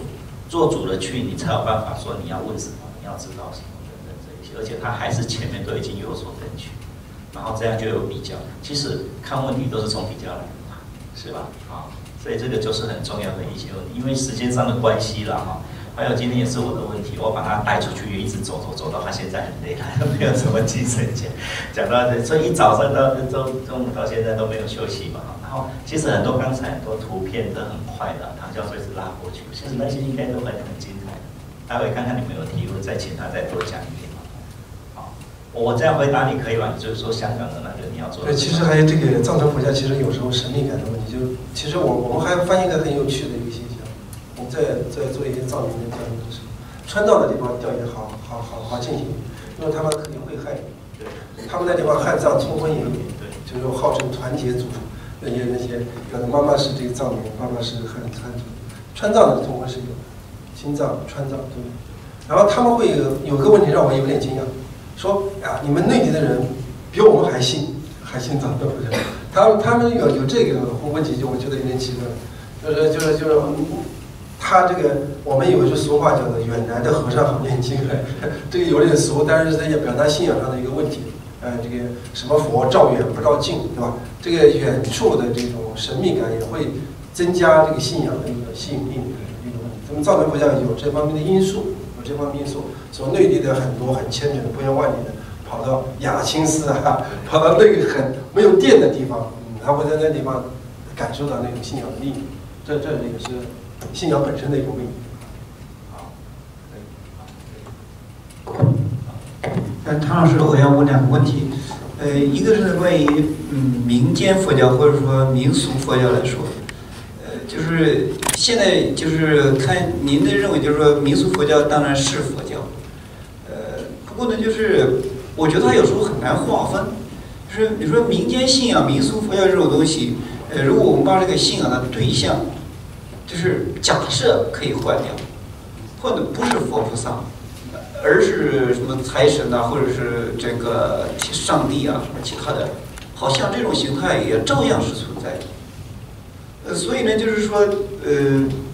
用用这样的，就是说，所以我还是觉得说这样的一种性质，就是它体现了一个什么样的情况呢？是不是我刚才突然想到，它民俗佛教是不是体现实际上是佛教有一些道教化？因为呢，道教的好像是很多的时候，他就会通过这种仪式这种神秘感那种东西，甚至说，呃，我听北大一个老师说过，说是道教的，它会有那种，就是说，很多中国人会有这种道教式的思维，比如说，就是说，哎，你被什么妖精附体啊，这在其他的文化里面不会出现这种情况。所以呢，我想这个民俗佛教或者民间佛教是不是体现一种佛教的道德化？呃，另外呢，就是关于田野调查的问题，就是说。在调查之中呢，它会出现一些就是可能跟文献里边呃冲突的一些东西，呃，比如说我就举个例子，就是呃江西一个地方，江西广丰一个地方，它有一个寺庙，它叫灵鹫寺。我看的资料呢，就是说是呃是杭州灵隐寺两个法师过去建的，但是当地的人就特别坚称说是是我们这个寺庙分过去分到杭州建了个灵隐寺。那碰到这种情况，这个怎么办？谢谢，啊，谢谢谢谢你的情况，就是如果民间的东西看起来很杂乱、很无聊，其实民间东西，我用我们以前做惯的这种义理，做民间东西其实是蛮难的，就在于难的，呃，其实它也在于它的现象本身的这种混杂，就像你刚才讲，要是我们从我们从义理上讲啊，其实这个儒佛道的这个混合很很正常。你到了《坛经》，你去看《坛经》，《坛经》确实有儒教化，有道教化，都是儒道影响是很明显的。就是我们从纯纯粹的一个思想和这个这个历史上来看。那么从教的这个这个角度来看，你刚才讲的这很多民间佛教，它肯定是有这个道教的影响，或者仪式的影响，或者是什么方面。但是我们之所以定义它是这个民俗佛教，那么它的主要的这个活动形式还是更偏于佛佛教化的，包括它的仪式的内容，包括它的呃，你像宝卷它的文本的内容，更多的内容还是源于佛教的。所以有时候我们会把它呃定义成这个民俗佛教。当然，这种定义本身是值得它的周延性都是有问题的。定义一个民间现象的这个概念呢，它的概念都很难周延，这是一个问题。就研究民间的时候都有个问题，有时候我们只能给它这个词儿。当然，在对这个词，我们会做一个呃比较详细的一个解释，或者遇到具体情况中遇到一个呃具体的一种解释、一种分析，都是这样子的。它这个概念本身很难周延，确实我们自己也感到这种很头疼的地方。就是在于在于这块，他他的信仰对象就是儒佛道不分，这是这是这一民间的这种信仰。但是有时候他更多的还是偏向于佛教，我们有时候就把它叫做这个民俗佛教，这么去理解，是这是。另外一个你讲的这个这个地方化的那个东西跟文献冲突是吧？这个呢你必须管它，但太多了，太多了。他有他自己说法，这就是叙事，叙事不管你真的假的，你别我对叙事这个理解，我一开始。也是不理解这个这种方法，但是这种方法很正常的一件事。它的叙事的这种，它的叙事的目的在，你要看它的它叙事的目的在哪？讲故事一样，我们要讲故事，讲故事有时候建构一种认同感。我们讲讲好了什么什么故事，讲故事其实很重要的一件事情。呃，所有的销售他也要讲故事，他讲故事好多都是骗人的，故事本身骗人，他的目的是在哪？我们看到他讲故事目的，他要达到他的销售目的。那这个信仰也是的，很多这种信仰，你要去考察它的历史，那。百分之七八十都是没有查无史实的，或者跟史实不相关的。它的目的在于通过这种叙事建构它那种信仰，所以这个叙事的这种功能在民间化的应用就是这么一种很奇怪的一种表达方式，是这么这种东西。谢谢。我再补充一点点啊，你刚才提到那个那个佛教道教化哈，那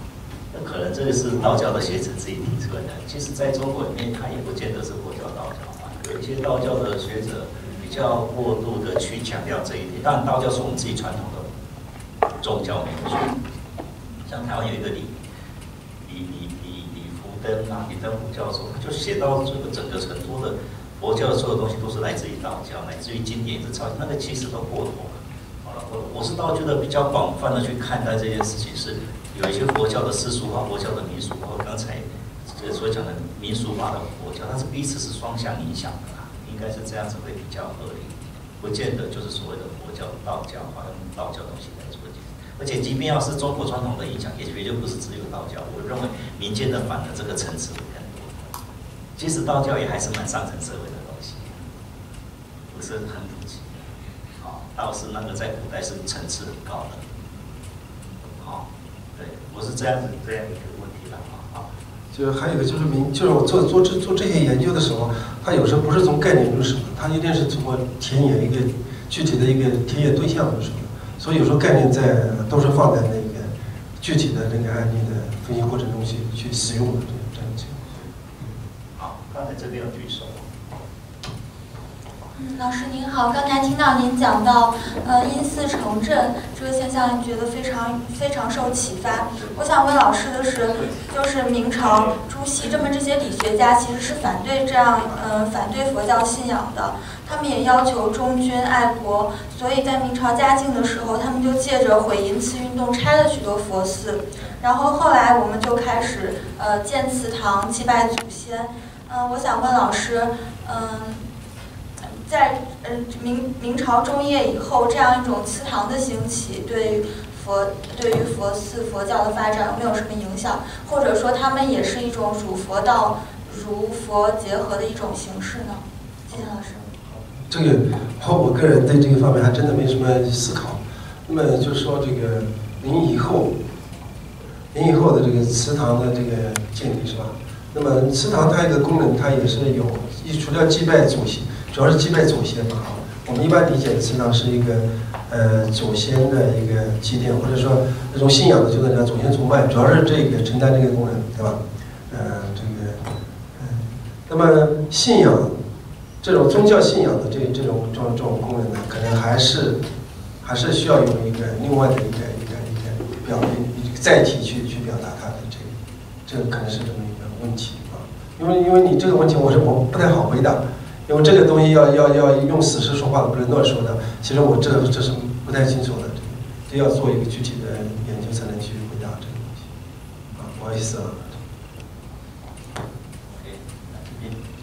教授你好，啊，刚才你有分享到，就是啊，有一些很多很多这个啊寺院是在这个啊江南跟太湖那边是，这个跟那个啊啊佛教是从海海上传过来我们中国的有关系吗？哦。对，这个这这因为这我觉得可能不没有一个直接的因果关系，因为我们知道，呃，从这个。嗯五，我们现在进看长江流域的这个佛寺佛教的传播中，五最早我们看有年代有五初年代时期，包括那个建业建就是那个那个健康建业那个是康松会啊，那个我们现在从佛教史上看康松会呢那是比较早，然后它其实从建业向南边传播的，但是我们上海的那个长三角那地方很多寺庙，它的寺制中的那个年代也追溯到五赤部时期，当然五赤部这些时期很多是从海路过来的。包括从那个越南那边，那那交趾那边过来，这这是有的。但是这个跟因寺城镇之间没有。因此城镇的关系，我觉得可能还更多的跟当地的地理环境、当地人的这种交通、跟当地人的这种生活方式和他的好佛的、他的他的信仰方式有关系。然后围绕这一个寺庙、民俗活动慢慢慢慢形成一层，跟海陆的海陆只是进入到佛佛教进入到中国的这个途径。对吧？它是一个选择从海路或者是从陆路这个这个问题，不是有直接的一个关系。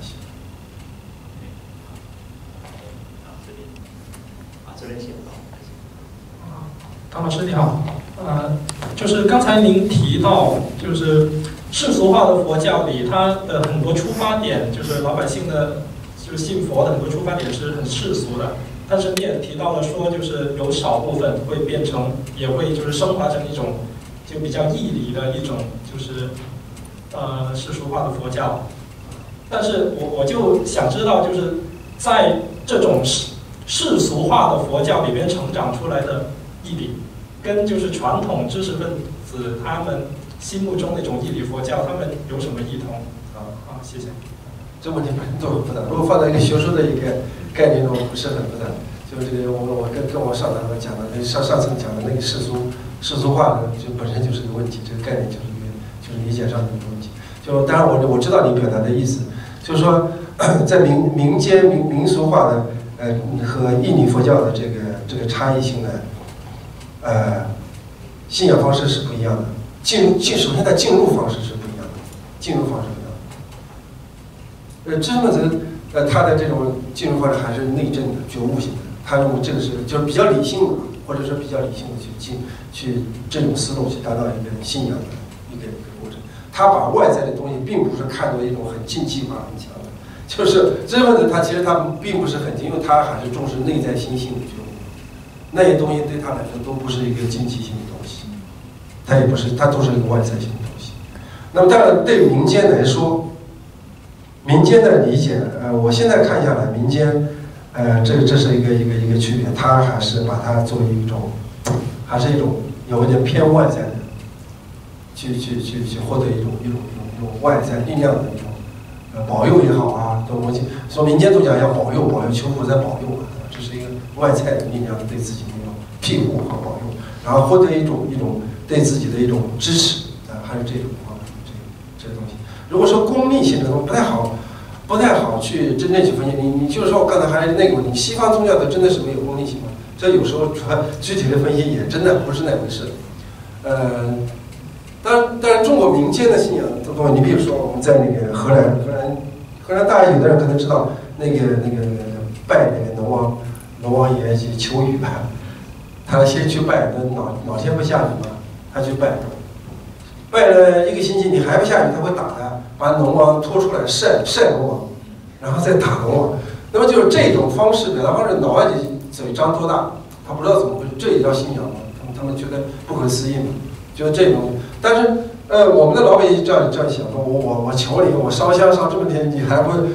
你还不去？这是民间的一种一种一种方式，呃，就中国这种民间信仰的一种方式，这种方式它很有很很推行。对，这样这种的倾向是很很强烈的，这是我们呃学者连出的一个结论，就是它是功利性的角度。刚才除了谈谈到功利性，还谈到所谓的民间生民间宗教的一种生活性的问题、仪式化的问题。但是在功利这个部分是大家都认，这这研究宗教的从宗教学角度大体上都这样认知。这个在台湾应该二十几年前，因为我想在我硕士的时候，台湾有一个院士叫李义元，他就研究民间信仰，他就提出了这样一个理论，就是因为他就是有交易嘛，要求嘛，你现在还要往这个我要去拜你是因为要你要求雨嘛，所以这个就彼此是功利的交易啊，我拜你你要给我东西，这个是很民间宗教民间信仰一个很大的一个特质啊。那么，但这个就是呃，他也会从里面拿一些佛教的意义来用，但是是自由行政的用。刚才这个呃教授那个潘教授也有讲到，那这个其实就是佛教世俗化。那世俗佛教化，刚才也举了一个例子，关公嘛，世俗的民间信仰的东西，它被拉到佛教里面来，就是变成世俗佛教化的。但是现在关公是佛教里面的驸马菩萨嘛，哈，切呃切染嘛，哈，跟韦陀菩萨两尊这样。那其实在以前根本没有这样的一个说法，所以慢慢慢慢纳入到这里，但是它赋予它意义了。其实这也是在叙说故事啊，真的赋予它意义了，这个没有办法求证哦，真的没有办法求证。但是在民间我听到怎么样说法，他们都在占卜，在伏击啊。我讲是台湾的例子哈，这占卜伏击，他们都是像这个，都相信这个的。很多的寺院不同的道公坛浮出来的机能，在他们的民间信仰说，现在关公是什么？是玉皇大帝。玉皇大帝是一个官名来的，不是一尊神神的名字。他是做那个等等所谓的现在我们叫佛教的所谓的第二天道一天，所以他是在管民间事务的。他会换的。他现在他们说现在换的是关公。所有台湾的，你看这个你怎么去求证？这就是在叙说、叙事了，明白吧？那就是在叙事的过程当中赋予它意义。那，这个是还关公被抓到民间里面去做。然后我们刚才讲的是那个是他这个民间的这个关公本身民间的人物嘛，啊，大家都拜他嘛，很很很很忠义啊，然后就还有武将可以打嘛，所以变成佛佛教的武武菩萨嘛，哈，这个在武嘛，那这就就是。佛教的世俗化的佛教，世俗佛教化了。那其实这个没办法求证，他只能够从一个一个这个智理大师说当时入定，然后关关公就在他那个入定的时候显现出来。你们听过这个故事没？然后他就很执着，哦，哇，要回我的头，要回我的头。然后智理大师就跟他说：“你不要执着，那个就是要的是要明明心见性啊。”见得你自己的佛性，你那外在的那个身体，我们佛教不讲求这个这些外在身体，是五五蕴加合嘛，哈，是要四大皆空。所以当时他听他这样开解了，关公就信入佛教了，是这样子写来的。那你觉得相不相信？那是自由行政的啦，所以你没有办法去追溯。所以就因此，这个关公就进入到佛教里面。但是他这个故事还是不是真的从智理大师那里隋代到智理大师那里开始的，都还要去考证的。这搞不好到了宋代才出现的说法不一定，明白吧？真的是这样。我这样说，你应该是可以清楚的表达你刚才，好，可以吗？好，我这样应该是可以稍微从比较侧面去解释你的问题的。这个问题，所以这个没办法讲，没办法讲。但是在没办法讲的过程当中，它有它的意义。你越没办法讲，他就越会相信。它就产生那个所谓的灵验的效益，就会越来越越越越有它的意义在，它的效果在。那从这个效益这里看到什么？就是信信仰的需求，信仰的慰藉。因为人总是不安，在这里求的一种安。哎我们为什么进入宗教？因为我们不安嘛，对不对？每个人因为心不安，所以进去。进去之后，你有这样的叙叙事的说法之后，产生了一套道理，你相信，相信了你就安。好再接着就要时间，可以了，大体上是这样，OK，可以吗？这是确实满分像陈教授讲的，就是说我们从怎么去理怎么去分析的，一个是客观的学术化的去表达这些信仰。如果从一个信仰的角度来看，民间和精英，有时候你并不是说民间就是很精英，民间他信仰很很虔诚，不是有有是那个故事？就是他一个老太太，她也什么不懂的，就就念一句口诀就念就念。那个妈妈，他他的信仰力量很强很强，比你呃研究义理很多，这但你没有信仰，不虔诚的去信仰他，这种信仰力量也是有问题的。像基督教也是，基督教他的一个祷告，就一个一个没有没有没有这个教育学熏陶的，他他不停的祷告，祷告本身它是有有有有有从宗教学的宗教性的角度来讲，它是有很强很强的力量力量感的，祷告的力量。这这，当然这种表达是一种信仰的一种表达，呃，我我们看呈现都是一种比较学术化的一个一个，呃，一种一种理性化的一种呈表达。我们从这个比较高层次的讲是说学术，但我们知道最后是理论跟实践要结合。但是我们现在在谈民间的问题，就是说民间的东西有时候它那个实践是不到位的，因为它还是一个心外求法。那心外求法，当然就佛法来讲，它是他。比如说公益，他是要求。求他的婚姻啊，刚才有那个好百分比很好，那求什么求什么求什么都是心外求的东西，那个不是了脱生死的东西，那是要你了脱生死过程当中，你可以作为一个工具性的东西，让你可以在安身立命的过程当中比较稳定的去做修行。它不是目的，它是工具是手段来，目的是要了脱生死，但是民间宗教就停留在这里，那我们是要再往前去做这个事情。当然，我们如果学者讲太多不做实践的话，就理论跟实践还是一大横沟也不行，所以理论要跟实践结合在一起。这个昨天有稍微谈到了，昨天有谈到那个理论那个时代那个时我们的这个现代性，然后跟传统结合，可以吗？继续问啊，虽然我们两个很这个我再跟大家分享一个，我们可以回答的。这这种这种缺失吧，因为我们做这些东西呢，就像有点像科学的那种，里面都有一个现象，它没有任何的肯定。你要去分析它，你去研究它，那对象就像那个有点像做科学研究的这个偏向这种经验性的研究，它你要去分析它，它没有任何肯定的东西。然后，当然你可以运用理论去分析它。因为我比如说我在我们以前有一个案例啊，就是这个汶川地震以后，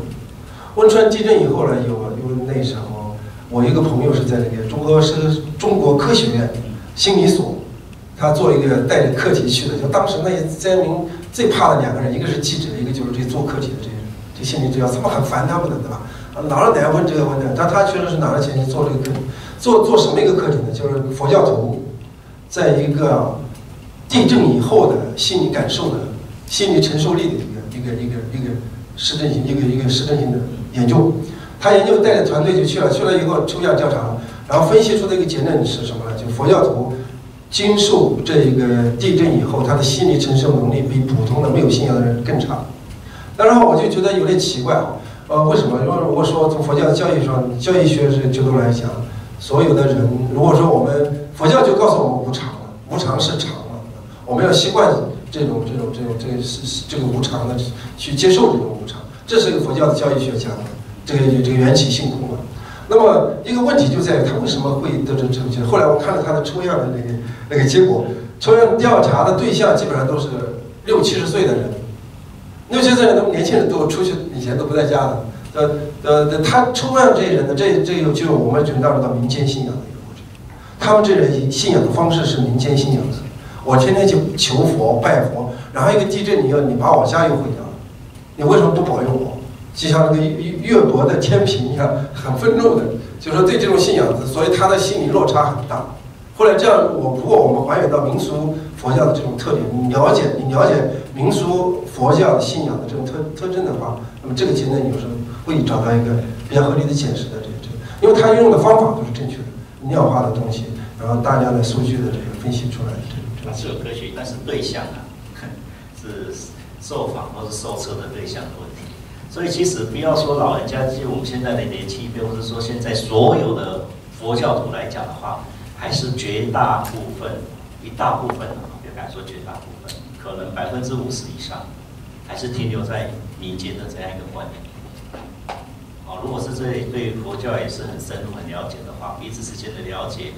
还是在。所以太太虚大师他会特别才会说那一句话：口说大乘，心行小乘。还是没有办法去去真的去如果是做一个配称的佛教，好，那个还是有一段很长的一个距离。反正修行就是一件很难的事情那就不是我们可以做的。百分之二十的人才有办法真的在修行，所有的心，这个是宗教学家讨论出来的一个数据。所以我在课堂上有跟他们分享过，这个光谱里面整百分之八十其实自称他是佛教徒，他还是一种民间式的信仰，他没有办法进入修修行的层次，因为他也不知道怎么修，他以为说去上到那里拜忏，那那里那个叫做修行，那还不是，他是在求哈，对吧？啊。那要怎么样才能够？这百分之二十是哪些人？宗教学家说，宗教师啊，就这一些出家或者神父、牧师啊，他们真的懂教义。还有一般就是高级知识分子，他也懂教育，他愿意去学。然后第三种是刚才举例的那一种，非常非常虔诚的那一种阿公阿婆啊，他也不用知识的啦，信仰以以以虔诚为主。哦，妈咪、baby home，念念念念到手中那。念了三十万之后，那个那个绿豆，他每念一句就要拿一颗绿豆过去嘛。那念到最后，他感应了，不用手去拿，就哦妈咪 baby home，豆子就自己跳过去，哦妈咪 baby home，感应了。这个就是前他不懂教理啊，所以那个是这样来。那后来他在念的时候，一个等我一分钟啊，那个一个师傅走过去说，他念错了。他是念哦，妈咪 baby 牛，那是念哦，他念牛，结果他还是感应啊。所以咒语不是音准不准的问题啊。那他就进来跟他讲说：“太婆，你念错，这个应该六字大明咒，观世音菩萨的六字大明咒应该是哦，妈咪 baby home。”啊，这样我念错了，开始不安了。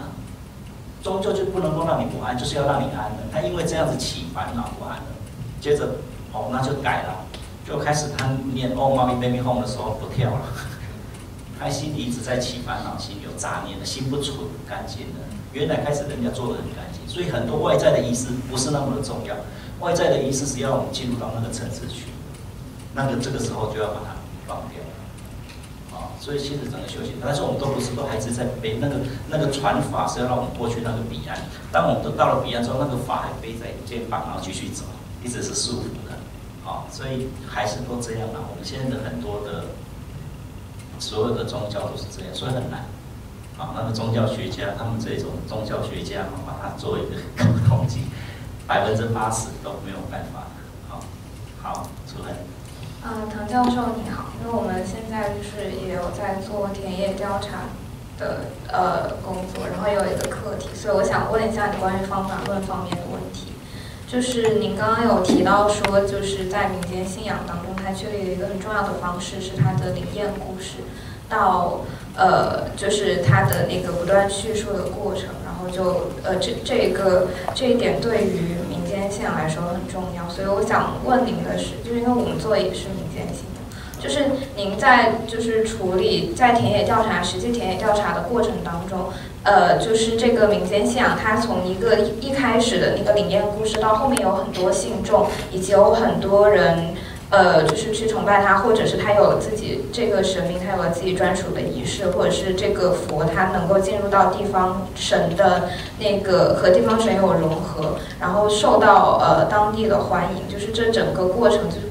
呃，他从那个一个灵验故事为起点，然后到后面发展成这样，中间这个脉络，您是就是有什么根据怎样的线索去梳理的？然后这是我第一个问题。第二个问题是，呃，就是就您刚放出来的图片，看到那个寺庙，它其实应该也是，就是它有过很多现代的修缮的工作，然后还有什么各种剪彩的活动，所以它现在。呃，可能在城市规划里面，它是按照，比如说是那种寺庙古城等等，就是这种规划路线去走的。那就是它现在可能更像是一个旅游景点，或者是它现在的这种城市的呃区域功能和以前会不一样。那你是怎么去呃，就是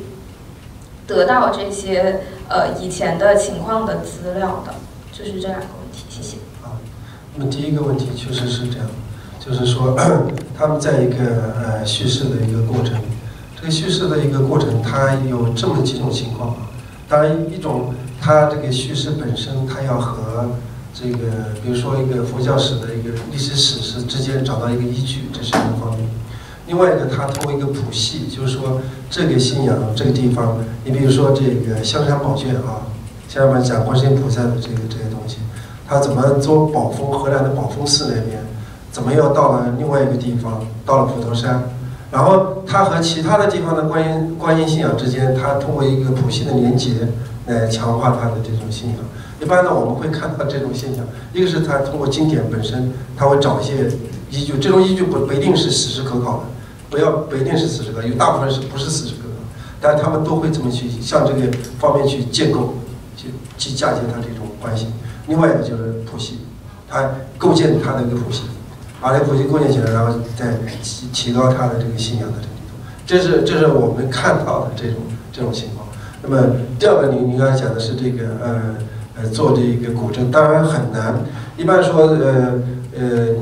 你因为交通都破坏掉了，对吧？古代的交通都都破坏掉。那么一个是文献，文献一般看地方志、呃四志、政志，这当然这是最起码的一个简简单的一个工具的一个使用。呃，另外一个这个古代交通，就古代交通有的还是可以知道的。你像比比如上海，上海你你要真正要去恢复这个以前的风貌，这个古代交通、古代地图，对吧？比如古代地图的这个这个古代那个你地图还是有的，能找到那个地图的。那么通过这些这些方方式呢，你可以恢复到当地的那种那种情况。当然，这些东西都是不周延的，只能是在呃一定的这个这个这个材料掌握，你所掌握到材料之中，你去去去去去研究这个这个这个项目。就这个可能更多的历史地理学的一种方法，就历史地理学的一种用历史地理学的方法，它把历史跟空间的这个结合度，对于研究这种呃信仰，肯定是有帮助的。好，谢谢。好，还有没有其他的问题？我补充一下刚才金钟那个问题啊。其实要去追也是有，就现在讲的所谓的神话原型追到那个源头原型，但是那个也要到最后作为一个大家去确定的话，还是有一些很大的，就神话的原型。那么其实这个在文学上的那个使用是非常多，那宗教也是有这样去去去解原型，它整个这个原型怎么样产生？那它其实它就是一个神话啊，所以后来演变到最后说，其实神话是很重要，因为成神话其实。我们说以前我们刚开始一听到神话，那是神话不可不可相信，不是，它是产生社会稳定的力量，从原始社会一直慢慢慢慢演，所以后来这个所谓的神话原型是被重视。啊，它甚至演变，即便是神话的原型，比如说伏羲，呃呃，这个女娲补天，这个就是一个神话，但是它怎么样去演变整个一个民主社会的一个继续演变下来的它的多元性的变化。对于整个社会的安定、社会的秩序的建构等等，它是有它的作用，所以它就因此而被呃去做受到重视。是，这是另外的。我刚才想到说，你那个部分应该要可以这样去回答，你会比较完整。因为我刚才讲的比较快，是说你根本追不到，也不也不对了，也这样讲也不对。啊，追到最后会有一个所谓的神话的原型，那能不能追不到不知道。啊，对，这也很难。或是说有人从上面往下去看。还有一个就是一个这种谱系，就是它的，比如像佛教讲祖庭啊，它传传法的这个脉络，这个都太它也会建构的，学术去建构。好，还有吗？这边。呃，唐教授你好，就是呃，就是我就是在就你讲那个佛教民俗化，然后。呃，本身从佛教义理的角度来讲，它不是，它就是感觉是跟世俗相对的东西。因为我看呃基督教或者是呃伊斯兰教的，他他会讲究，比如基督教他会说耶稣会行神迹，那么这个实际上就是在一个呃超自然的帮助人治疗疾病或者。这种过程，但是佛教经文里它本身并不讲这种东西，然后，嗯，就像那种法华经或者一些经文里，它呃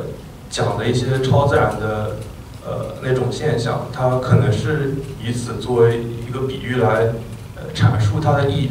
那么是否说明呃人们将就是中国呃，就是历史上人们将佛教民俗化的这个过程，呃，它本身建构的基础就已经是对佛教义理的误解，那它存在的价值好像我感觉就受到质疑，然后呃，包括呃道教它本身，如果我们呃说的话，它比如庄子，他就一开始道家这这方面来讲，他也是阐述呃事理的一个角度，就呃包括我觉得齐物论里一些观点跟佛教它性好像有点类似，当然也有不同。那呃这两个其实本身它都是要呃就是呃研究事事物。本然的一种状态，但是人们将它世俗化，是不是就不太合适？因为像其他一些宗教，它呃会讲，就是比如它是有一个全知全能神存在的。你要问的就是是不是世俗化的问题，是吧？对，昨天有我我我很清楚，就是您的思路是很清楚的，我我我我我感受到了，就是说，呃，因为西方的这个宗教是一个天启的嘛，天启的它大部分是一个故事，是吧？一个我不说它是神话故，它是有个故事的一个一个想法，本身就是一个故事的系统。那么佛教，你的意思就是比较理性化的，对吧？它是通过一个说理的，这个这个很显然是的，因为它经过自己的世对宇宙的理、实相的理解，缘起论嘛，然后有空性、般若空性的，然后各个部派佛教发展，它都是要讲理的，讲理的包括我们认知，我们怎么去理解这个宇宙的来源，任何事物的这个来源，这个这个。相互依存的一个关系，这都是这种理解。然后你就觉得这个呃这种这种呃理性化的宗教怎么能够被民间的那种信仰方式去进行，是吧？是这个意思。但是这个问题是我们站在你站在你的立场上去，如果你站在那个民间的那个立场上去，你找你如果跟他们有相处一段时间，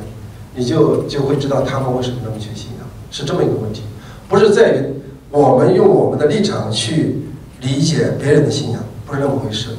你如果用我们自己的立场的信仰，当然 OK，这些都不是问题，对吧？这些都不是问题，我们会有我们那种理解方式，那种那种那种。但是我们要成熟的一件事情，这是一种事实，他们是那么信仰的。那么你从他的角度去看他的信仰，是这么一回事。不是说你讲的这个对不对、要不要的问题，而是这些事情都是事实。百分之九十人这么漫长的佛教史的过程，他们就是这么去信仰的，